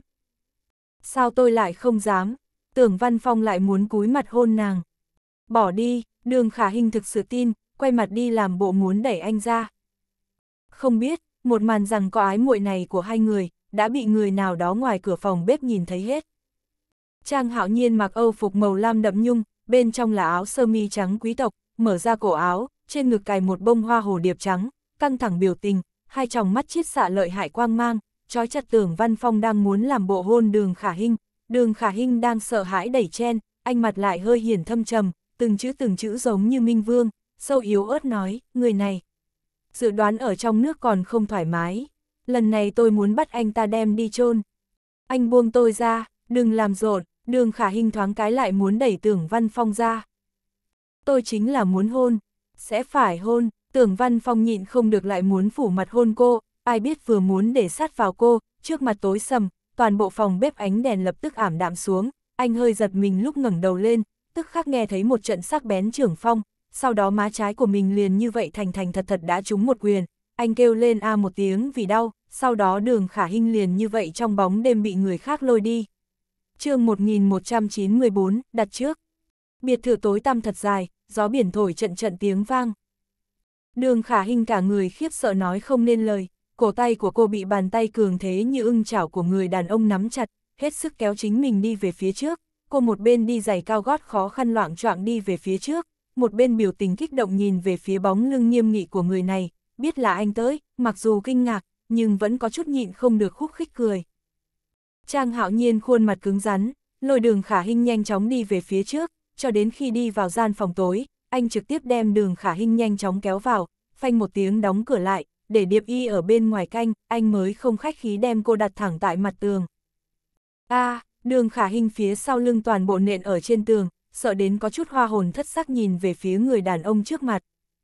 Trang hạo nhiên hết sức tức giận, khuôn mặt nghiêm nghị, đứng ở trước mặt đường khả hình, lạnh lùng cúi xuống, rút ra tay khăn tay, thập phần ghét bỏ lau bàn tay phải của chính mình vừa đánh người, cứ nghĩ đến cảnh tưởng văn phong thiếu chút nữa hôn đường khả hình, anh liền một trận tức giận ngăn không được suy nghĩ muốn giết người, nhất là nghe thấy đường khả hình nhắc tới tưởng thiên lỗi, vẫn như cũ còn là trạng thái yêu thương kia, anh càng tức khí. Đường khả hình đứng trong bóng đêm, nhẹ tay cầm lấy túi da mềm mại trên tường, tác vang tiếng, róc rách, có chút mềm yếu, lại vẫn như cũng nhìn về phía Trang Hạo Nhiên đang tức giận. Trang Hạo Nhiên lau sạch sẽ bàn tay, rốt cuộc hơi nhắc mí mắt, hai tròng mắt chiết xạ một điểm ánh sáng lợi hại, nhìn về phía đường khả hình. Đường khả hình nhìn về phía bộ dáng này của anh, lại nhịn cười không được. Còn cười, Trang Hạo Nhiên trong bóng đêm, hơi nghiêng mặt sâu khóa chân mày, nhìn về phía người này. Đường khả hình mặt càng hiển ôn nhu nhìn về phía người trước mặt, chỉ cần anh xuất hiện, toàn bộ thế giới của mình tức khắc có thể ngọt ngào, cô nhịn không được nhìn về phía anh, lại bộc lộ ôn nhu tươi cười, nói, nếu như không cười, chẳng lẽ muốn em và anh cãi nhau sao? Và anh cãi nhau, anh làm sai chuyện, Trang hạo nhiên trực tiếp còn là không khách khí nhìn về phía cô, hai tròng mắt lại chiết xạ ra mấy phần lợi hại, chợt nhíu mi tâm, tay hơi chỉ chỉ ra bên ngoài, mới phẫn hận nói cái tên xúc sinh kia, vừa thiếu chút nữa hôn em. Cậu ấy không hôn em, em và cậu ấy đang trêu đùa thôi. Đường khả hình lại bộc lộ mỉm cười biểu tình, nhìn nói với Trang hạo nhiên. Trêu đùa, Trang hạo nhiên tức giận nhìn về phía đường khả hình, hơi cao giọng nói, anh cũng có thể vui đùa như vậy với một nữ nhân sao. Đường khả hình sắc mặt hơi thu lại, nhìn về phía bộ dáng Trang hạo nhiên tức giận, mình cũng không hiểu phẫn khí cùng tính toán, cô tức khắc cũng hơi cao giọng nói, xin chào anh.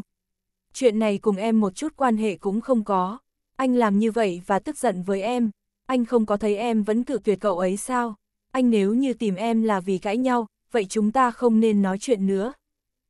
Đường khả hình không nói hai lời, liền một phen đẩy Trang Hạo Nhiên ra, muốn kéo cửa đi ra ngoài. Em muốn đi đâu? Trang Hạo Nhiên thoáng cái cố chấp nắm chặt cổ tay của cô, hỏi. Đường khả hình tức khắc sinh khí oán trách hất tay của anh ra, vừa cường thế kéo cửa đi ra ngoài, vừa nhanh chóng nói, em trở lại bữa tiệc tối, anh thật coi em là nhàn rỗi. Cửa, phịch một tiếng đóng lại. Đường khả hình trực tiếp thở dốc đứng ở trước cánh cửa đóng chặt, liếc điệp y một cái, hôm nay cô ấy mặc chiếc váy dài nhẹ nhàng đứng cách đó không xa, ngưng sâu nhìn chính mình, hai tròng mắt của cô nhanh chóng nháy, cư nhiên cảm giác được phía sau không có một chút tiếng vang, trái tim lập tức có chút lạnh lẽo, cô đột nhiên một trận lúng túng xoay người, không thể tưởng tượng mở to mắt nhìn về phía cánh cửa đóng chặt, người này sẽ không nhỏ mọn như vậy đi. Tưởng Văn Phong không phải cũng không có hôn lên sao, có nhất thiết phải tức giận thành như vậy không? Đường khả hình nhất thời cố chấp tay giữ lấy làn váy, đón này luồng gió lạnh, đi cũng không được, mà không đi cũng không được, trái tim giống như xoay thành một đoàn, trên mặt hiện lên mấy phần mâu thuẫn mất thể diện, trong lòng biểu tình tức giận, sống chết nặng nề cắn môi dưới, hơi quay đầu đi cố ý có chút cao giọng nói, em đi rồi a. À. Anh tuyệt đối tuyệt đối không muốn ra kéo em, kéo em, em cũng không trở về. Em vừa mới hoàn thành trận thi đấu, người cũng đã cực kỳ mệt mỏi. Anh lại một chút cũng không thông cảm với em. Bên trong một điểm tiếng vang cũng không có. Anh, đường khả hình lập tức cảm giác được một trận đau lòng, hai tay nặng nề nắm chặt váy, sống chết mở to mắt, nhìn về phía cánh cửa đóng chặt kia, trực tiếp không có cách nào phẫn hận kêu lên tiền bối lợi tức cá đầu thai. Độ lượng nhỏ như vậy, đi thì đi, có gì đặc biệt hơn người, hừ. Đường khả hình nói cho hết lời, liền một trận thương tâm khổ sở xoay người, vừa muốn cất bước đi về phía trước. Ai biết hai bên hiên, lập tức sáng lên ánh đèn, trải dài giống như ngân hà, bắt đầu lãng mạn lưu chuyển, mà cách đó không xa, lập tức truyền đến từng đợt thanh âm tiếng động, không có bao lâu, ở bầu trời đêm xa xôi, cư nhiên bay tới một sinh linh nho nhỏ, đỉnh đầu nó sáng lên ánh sáng mỹ lệ, trong miệng có một phong thư nho nhỏ, bay về phía đường khả hình. Đường khả hình dừng ở trên hiên, kích động nhìn xung quanh trái phải lưu chuyển, tinh hà, nghe thấy thanh âm trận phát chắp cánh, cô lúc ngẩng đầu lên, cư nhiên nhìn thấy anh Vũ ở phủ thủ tướng, chính là tiểu hình hình, đáng yêu kia, trong miệng có một phong thư màu lam, bay tới trước mặt của mình, dường như muốn đem phong thư đưa cho mình, lòng của cô tức khắc lướt qua một dòng nước ấm, mang theo điểm nghi hoặc cùng rung động, tiếp nhận phong thư màu lam trong tay do vật nhỏ này đưa qua, nhìn trên mặt giấy viết thư. Dùng nét chữ thập phần tiêu sái mà thâm tình viết, gửi vị hôn thê. Hai tròng mắt của cô tức khắc hiện lên ánh lệ, mặc dù trong lòng tình cảm cuộn trào mãnh liệt, nhưng vẫn là kiềm chế, đầu tiên là thật ôn nhu cùng cẩn thận đem phong thư mở ra, ngón tay ngọc thon dài mở rộng miệng phong thư, rút từ bên trong ra một vé máy bay hành trình từ Trung Quốc tới London, là khoang hạng nhất. Ngày bay chính là ngày đầu tiên sau khi kết thúc vòng thi thứ ba của trận thi đấu. Đường khả hình tâm tình rất kích động tay khẩn trương cầm vé máy bay này, nương kia một chút ánh đèn mê người, nhìn về phía ngày trên mặt vé máy bay, cô thực sự cảm động. Phía trước lại một trận thanh âm phát xí, truyền đến. Đường khả hình kích động ngẩng đầu, cư nhiên nhìn thấy tiểu hình hình, lại bay tới, trong miệng của nó lại có thêm một phong thư màu lam, cô vội vã nhận lấy nhịn không được mỉm cười, lại không thể chờ đợi được liền mở ra, cư nhiên lại nhìn thấy một vé máy bay hành trình từ Trung Quốc đi London, là ngày hôm sau của trận chung kết. Cô nhịn không được hai tròng mắt lại tràn đầy lệ, tươi cười. Không mất bao lâu, Tiểu Hinh Hinh lại mang tới một vé máy bay từ Trung Quốc đi London, tổng cộng 30, toàn bộ mật ngọt tình nồng đưa đến trong tay cô bé này, một ngôn ngữ im lặng, lại đại biểu anh sắp sửa bắt đầu thực hiện hứa hẹn của mình, cho cô đi vé máy bay đến điểm cuối hạnh phúc. Đường khả hình hai tròng mắt chảy xuống nước mắt, khuôn mặt không khỏi hiện lên biểu tình kích động mỉm cười, nhận lấy một phong thư cuối cùng, tiểu hình hình, đưa cho mình, bên trong lại không có vé máy bay, lại là một phong thư trang hạo nhiên viết cho vị hôn thê, vị hôn thê là người anh yêu nhất, quá khứ thật không có quá nhiều thời gian để yêu em. Từ nay về sau, anh nghĩ đặt trước vé máy bay tương lai mỗi ngày cùng em hạnh phúc, dùng quãng đời còn lại của anh để yêu, chăm chú làm bạn với em. Mặc kệ trời nắng trời nhiều mây hay ngày mưa, anh nguyện ý đứng ở lối vào sân bay, chờ đợi em. Vị hôn thê của anh, em có thể tiếp nhận những điều anh đặt trước không? Nếu như nguyện ý, thỉnh xoay người. Đường khả hình nhìn về phía phần cuối phong thư này, lại nhịn không được cười, nước mắt kích động chảy xuống, thần tình không khỏi xoay người, nhìn về phía kia cánh cửa đóng chặt, lúc này cuối cùng cũng chậm rãi mở ra. Bên trong tối tăm, lúc này căn phòng đã là đầy trúc tịch màu tím sậm lãng mạn, bình rượu, mộng kéo tạ, năm 1982, cũng được bày đặt ở trước bàn trà sofa cung đình, dịch rượu vàng óng, lộ ra vị mật ngọt ngào ngấy ngấy, xa xa đệm giường màu tím sậm, lụa mỏng nhẹ nhàng. Mà Trang Hạo Nhiên, anh thì mặc âu phục màu lam đậm thẳng tắp, phong cách quý tộc đẹp trai đứng ở giữa ánh nến, khuôn mặt anh bộc lộ bộ dáng ẩn nhẫn, hai tròng mắt nóng cháy mà thâm tình, bất đắc dĩ nhìn về phía người con gái ngoài cửa, đau lòng nói, em này đứa ngốc. Trận thi đấu lớn còn chưa kết thúc, anh có thể quang minh chính đại đi ra không? Nhưng anh một lần không được sao, em đã tha thứ cho thiên lỗi rất nhiều lần. Đường khả hình nhịn không được rơi lệ, tươi cười. Trang hạo nhiên cũng đau lòng nhìn về phía đường khả hình cười, cuối cùng khó nén nội tâm kích động cùng khát vọng mở rộng hai tay, nói thân ái, trận thi đấu lớn đã cực khổ. Chúc mừng em tấn cấp. Đường khả hình tâm một trận kích động sôi trào, hạnh phúc cùng ngọt ngào lập tức cất bước đi vào gian phòng, nhào tới trong lòng Trang Hạo Nhiên, cũng chịu không nổi nữa vươn tay, kéo cổ của anh, kiếng đầu ngón chân, ngẩng mặt lên như vậy bức thiết cùng chủ động hôn môi của anh, Trang Hạo Nhiên cũng tức khắc vươn tay, ôm chặt lấy eo nhỏ nhắn của cô, cúi xuống hôn lên đôi môi ngọt ngào của cô, chậm rãi, đem cửa phòng khép lại. Hai thân ảnh hôn nhau nồng nhiệt, cứ như vậy biến mất ở ánh đèn lóe ra như tinh hà. Lúc này, một trận gió lạnh thổi tới, bây giờ đã là cuối thu, tầng cao nhất thực sự quá lạnh quá lạnh. Dần dần, dần dần, tầng trệt truyền đến một điểm thanh âm, nói, làm xong chưa? Đối phó đi, lạnh chết lão tử rồi. Dạy dỗ cái tên xúc sinh kia chỉ còn biện pháp để anh vũ ngậm phong thư, lão tử bắt anh ta đến. Cả người tô lạc hành núp ở lầu chót, hai tay ôm vai, đón gió biển lạnh lẽo, dương mặt nói. Được rồi, được rồi. Lâm sở nhai cũng giúp ở trong góc đón gió, tóc dựng lên, run rẩy gọi đi nhanh đi. Dù sao phong thư cấp lộng xong, ôi, lạnh chết, lão đại đây là điển hình có nữ nhân không muốn huynh đệ. Ác như vậy biện pháp nào cũng nghĩ ra. Hai người liền vậy tích tích cô cô chạy xuống lâu. chương 1195, chạy xuống. Editor, Bích Phạm. Một chút ánh nến, không gian sang trọng, lãng mạn mà say mê, sofa phong cách châu Âu, giao đĩa kiểu của quý tộc, rèm cửa sổ màu tím sập, khắp nơi ánh nến lấp lánh. Đường khả hình cùng Trang hạo nhiên hôn nhau nồng nàn, người thấy hương, mộng kéo tạ, hương vị ngọt ngào như những bông hoa, giống như toàn bộ không gian đã được bao phủ bởi hoa hồng. Cô xúc động trước không gian này, đôi mắt lấp lánh thời gian như ngừng lại, tất cả thật tuyệt. Rượu vang trên toàn thế giới từ Pháp Paris, Bordeaux, Provence, Đức Berlin và những nơi khác. Được đặt ở mọi góc. Khóe mắt cô gái lấp lánh, trong lòng xúc động, ngẩng đầu dịu dàng nhìn người đàn ông đứng trước mặt. Trang hạo nhiên mặt cũng tươi cười, như vậy ôn nhu nhìn về phía đường khả hình, chậm rãi vươn tay, khẽ vuốt khuôn mặt xinh đẹp của cô. Lúc này anh nhẹ nhàng nói, anh không biết làm thế nào để em có thể hiểu được những cảm xúc, mong muốn của anh dành cho em. Anh không thể đưa em đi cùng anh mỗi chuyến bay, để giải quyết công việc. Một số nơi rất khắc nghiệt, ở một số nơi phong cảnh rất đẹp, giống như lúc anh và em trong các vườn nho, nơi cho người ta những cảm giác ngọt ngào. Ngoặc kép chấm chấm chấm chấm chấm chấm chấm chấm chấm ngoặc kép. Đường khả hình yên lặng nhìn về phía anh. Anh dùng ánh mắt âu yếm nhìn khuôn mặt nhỏ nhắn ửng hồng, ánh mặt long lanh cùng đôi môi đỏ mọng của cô. Anh không nhịn được vươn tay ôm lấy cô, tiếp đến cuốn lấy môi cô, rồi lại thầm thì nói, em phải bảo vệ đôi môi mình thật tốt. Điểm ấy ngọt thế nào không khiến người khác muốn hôn chứ? Trong câu nói kia lại biểu lộ một chút ghen tức. Đường khả hình nhìn về phía Trang Hạo Nhiên, lòng không nhịn được cười một tiếng, trong nháy mắt vươn hai tay vây quanh cổ của anh, lại lần nữa đón nhận chính mình ngọt môi, đầu lưỡi linh hoạt, rồi lại yếu ớt nói em chỉ thuộc về anh. Chỉ là của riêng anh thôi. Trang hạo nhiên cảm động cười, trong nháy mắt cũng ôm chặt bên hông đường khả Hinh phủ lấy môi cô.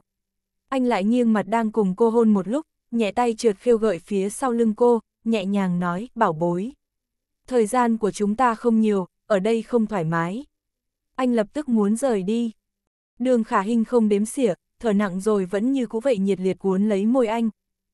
Trang hạo nhiên cảm giác được đường khả hình như vậy nhiệt liệt, nhất là đầu lưỡi của cô không ngừng trêu đùa anh. Anh gian rộng hai chân, không nói lời nào, tức khắc dùng lực bá đạo nắm hai cánh tay đường khả hình, đem cô trong nháy mắt áp đã ở cạnh cửa trên tường. a đường khả hình kêu lên. Trang hạo nhiên người cũng đã nặng đè lên, nhanh chóng hôn môi, kéo tay xuống quấn ở trước ngực cô, lập tức đi vòng quanh lộ ra ngực chữ V sau chiếc váy dài, không lót áo ngực, lúc ẩn lúc hiện. Anh không thể chờ đợi được, vươn tay hưởng thụ cùng thỏa mãn, thở gấp, lại phủ phía dưới, hôn lên môi đường khả hình, mút lấy đầu lưới cô, nói khẽ, vật nhỏ. Đường khả hình nghe như vậy, kìm lòng không khỏi vươn tay, thong thả trượt xuống động ở thắt lưng mình.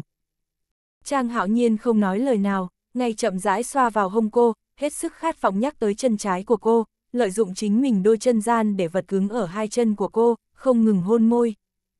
A hát, đường khả hình đón nụ hôn của anh, cảm thấy mặt của mình nóng ran, phía dưới đang kích thích với một vật ấm, và rằng cô không thể chờ đợi để có cảm giác. Trang hạo nhiên cũng giống như không thể chờ đợi được, tay nhanh chóng quấy nhiễu váy cô, dò vào áo lót sen của cô, không ngừng xoa cô đôi chân kia điểm ẩm ướt, đầu óc của anh dường như nổ tung, khát vọng nói, nó ướt, anh nghĩ. Đường khả hình lúc này đã say đắm, cũng khát vọng ngẩng đầu, nhìn về phía Trang hạo nhiên. Trang hạo nhiên đôi mắt ấm áp nhìn về phía cô. Ngay lúc này, lại có tiếng gõ cửa, Điệp Y nói, thiếu ra, đi thôi.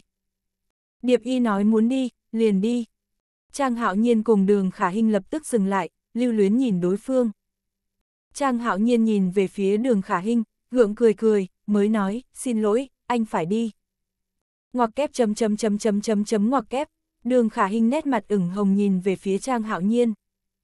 Trang hạo nhiên lại không nỡ rời đi, nhưng vẫn là nét trầm mặc mà không khỏi vươn tay, vỗ nhẹ khuôn mặt nóng của cô vừa hôn, lúc này mới chỉ phải bất đắc dĩ nói thật muốn đi. Anh đêm nay qua đây, đều là gạt thiên lỗi, buổi dạ tiệc, không thể không tham dự, em cũng là. Ngoặc kép chấm chấm chấm chấm chấm chấm ngoặc kép, đường khả hình trầm mặc nói không nên lời. Xin lỗi, bảo bối, anh đi ra ngoài trước, em ra sau, Trang hạo nhiên thở nặng, nhìn cô một cái, lúc này mới nhanh chóng xoay người, kéo cửa ra ngoài. Toàn bộ gian phòng lập tức yên tĩnh. Đường khả hình đang lúc cảm xúc đang mãnh liệt thì bị dập tắt. Cô buồn rầu, trong lòng hơi khó chịu ngồi một lát rồi chỉnh lại quần áo chuẩn bị bước ra ngoài. Vẫn cảm thấy mùi hương của trang họa nhiên trên cơ thể mình. Cô cảm giác hơi mệt mỏi, thở dài cảm thấy đã đến lúc phải ra ngoài, bước đến khóa trái cửa mới đi ra ngoài. Dọc hai lối đi vẫn là những tấm thảm màu tím, phía trước ánh sáng lấp lánh phát ra từ hội trường, có tiếng đàn violon du dương giữa tiếng cười nói của những người khách. Mà trong đó cô vẫn nghe được tiếng nói cười của Trang Hạo Nhiên, đó là một âm thanh đặc biệt với cô, hai mắt long lanh, cô hít một hơi sâu rồi lây lại gương mặt tươi tắn bước đi về phía diễn ra giả tiệc. Lúc này, mọi người đang vừa nói vừa cười nói chuyện, còn có cả phu nhân gióc. Trang họa nhiên ngồi thư thái bên cạnh cửa sổ trên tay lắc ly rượu thủy tinh, nói chuyện với những vị khách người Pháp. Trang hạo nhiên lúc này nhìn thấy đường khả hình mỉm cười bước vào đại sảnh lịch sự chào hỏi các vị khách và phu nhân gióc, sau đó một người Pháp bước đến ôm xã giao cô. Sức hấp dẫn của cô đủ thu hút sự xuất hiện của người đàn ông người Pháp này. Trang hạo nhiên thấy vậy nắm chặt ly rượu trên tay, hai mắt đầy sát khi nhìn về phía đường khả hình từ từ dơ ly rượu, kêu nhỏ cô đường. Đường khả hình đang nói chuyện cùng mọi người, nghe thấy Trang hạo nhiên gọi mình, cô liền đành phải tươi cười, và nói tiếng xin lỗi các vị, liền nhẹ vén váy dài, đi về hướng anh, ôn nhu hỏi Trang Tổng, ngài có gì dặn dò. Trang hạo nhiên đầu tiên là khách khí nói mấy lời những người khách bằng tiếng Pháp. Sau khi bọn họ gật đầu, lúc này dẫn Trang hạo nhiên ra cột đá bên cạnh, mỉm cười dịu giọng hỏi lại Trang Tổng. Ngài có gì dặn dò? Trang hạo nhiên khẽ nhướng mày nhìn cô, khoảng cách xa với những người khách, lại vừa vặn có cột đá che tầm mắt của mọi người, anh bộc lộ mặt nghiêm túc đưa ly rượu lên, rồi nét mặt lại cười nhẹ, cầm lấy tay cô nhẹ nhàng xoa quanh, rồi lại dần tiến sâu vào bên trong, hai mắt âu yếm cười hỏi, tôi lúc này tâm tình rất tốt, rất muốn có một cô gái, cô đường có thể giới thiệu cho tôi một loại rượu không? Đường khả hình khuôn mặt ửng hồng, vô thức muốn quay mặt sang, nhìn nhìn có người khách nào xung quanh hay không. Trang hạo nhiên lắc nhẹ ly rượu trên tay, từ từ nhấm nháp rồi đặt sang một bên. Lúc này có một bàn tay đang tiến sâu vào quấy nhiễu chiếc váy cô, để lộ đôi chân dài trắng nõn của cô, ngón tay lại tiếp tục mần mò xung quanh hưởng thụ rồi thô bạo xé rách cái gen màu đen. Đường khả hình hơi giật mình đôi mắt long lanh, cảm giác của mình lại bị kích thích, trừng lớn hai mắt, nhìn về phía Trang Hạo Nhiên. Vậy anh nói cho em biết làm thế nào để chuẩn bị một loại rượu tốt. Trang Hạo Nhiên nhìn sâu vào mắt cô, hai tay tiếp tục tấn công, ngón tay đụng tới nội bộ ẩm ướt cô, đẩy người cô vào tường rồi chiếm lấy môi cô, thầm thì thích không. Đường khả hình tựa ở cột đá, ngẩng đầu lên nặng thở, thân thể của cô bị ngón tay anh dừng ở đôi chân, không trả lời anh, nhưng chất lỏng phía dưới đã muốn chảy xuống dưới. Audio điện tử võ tấn bền Hết chương 1195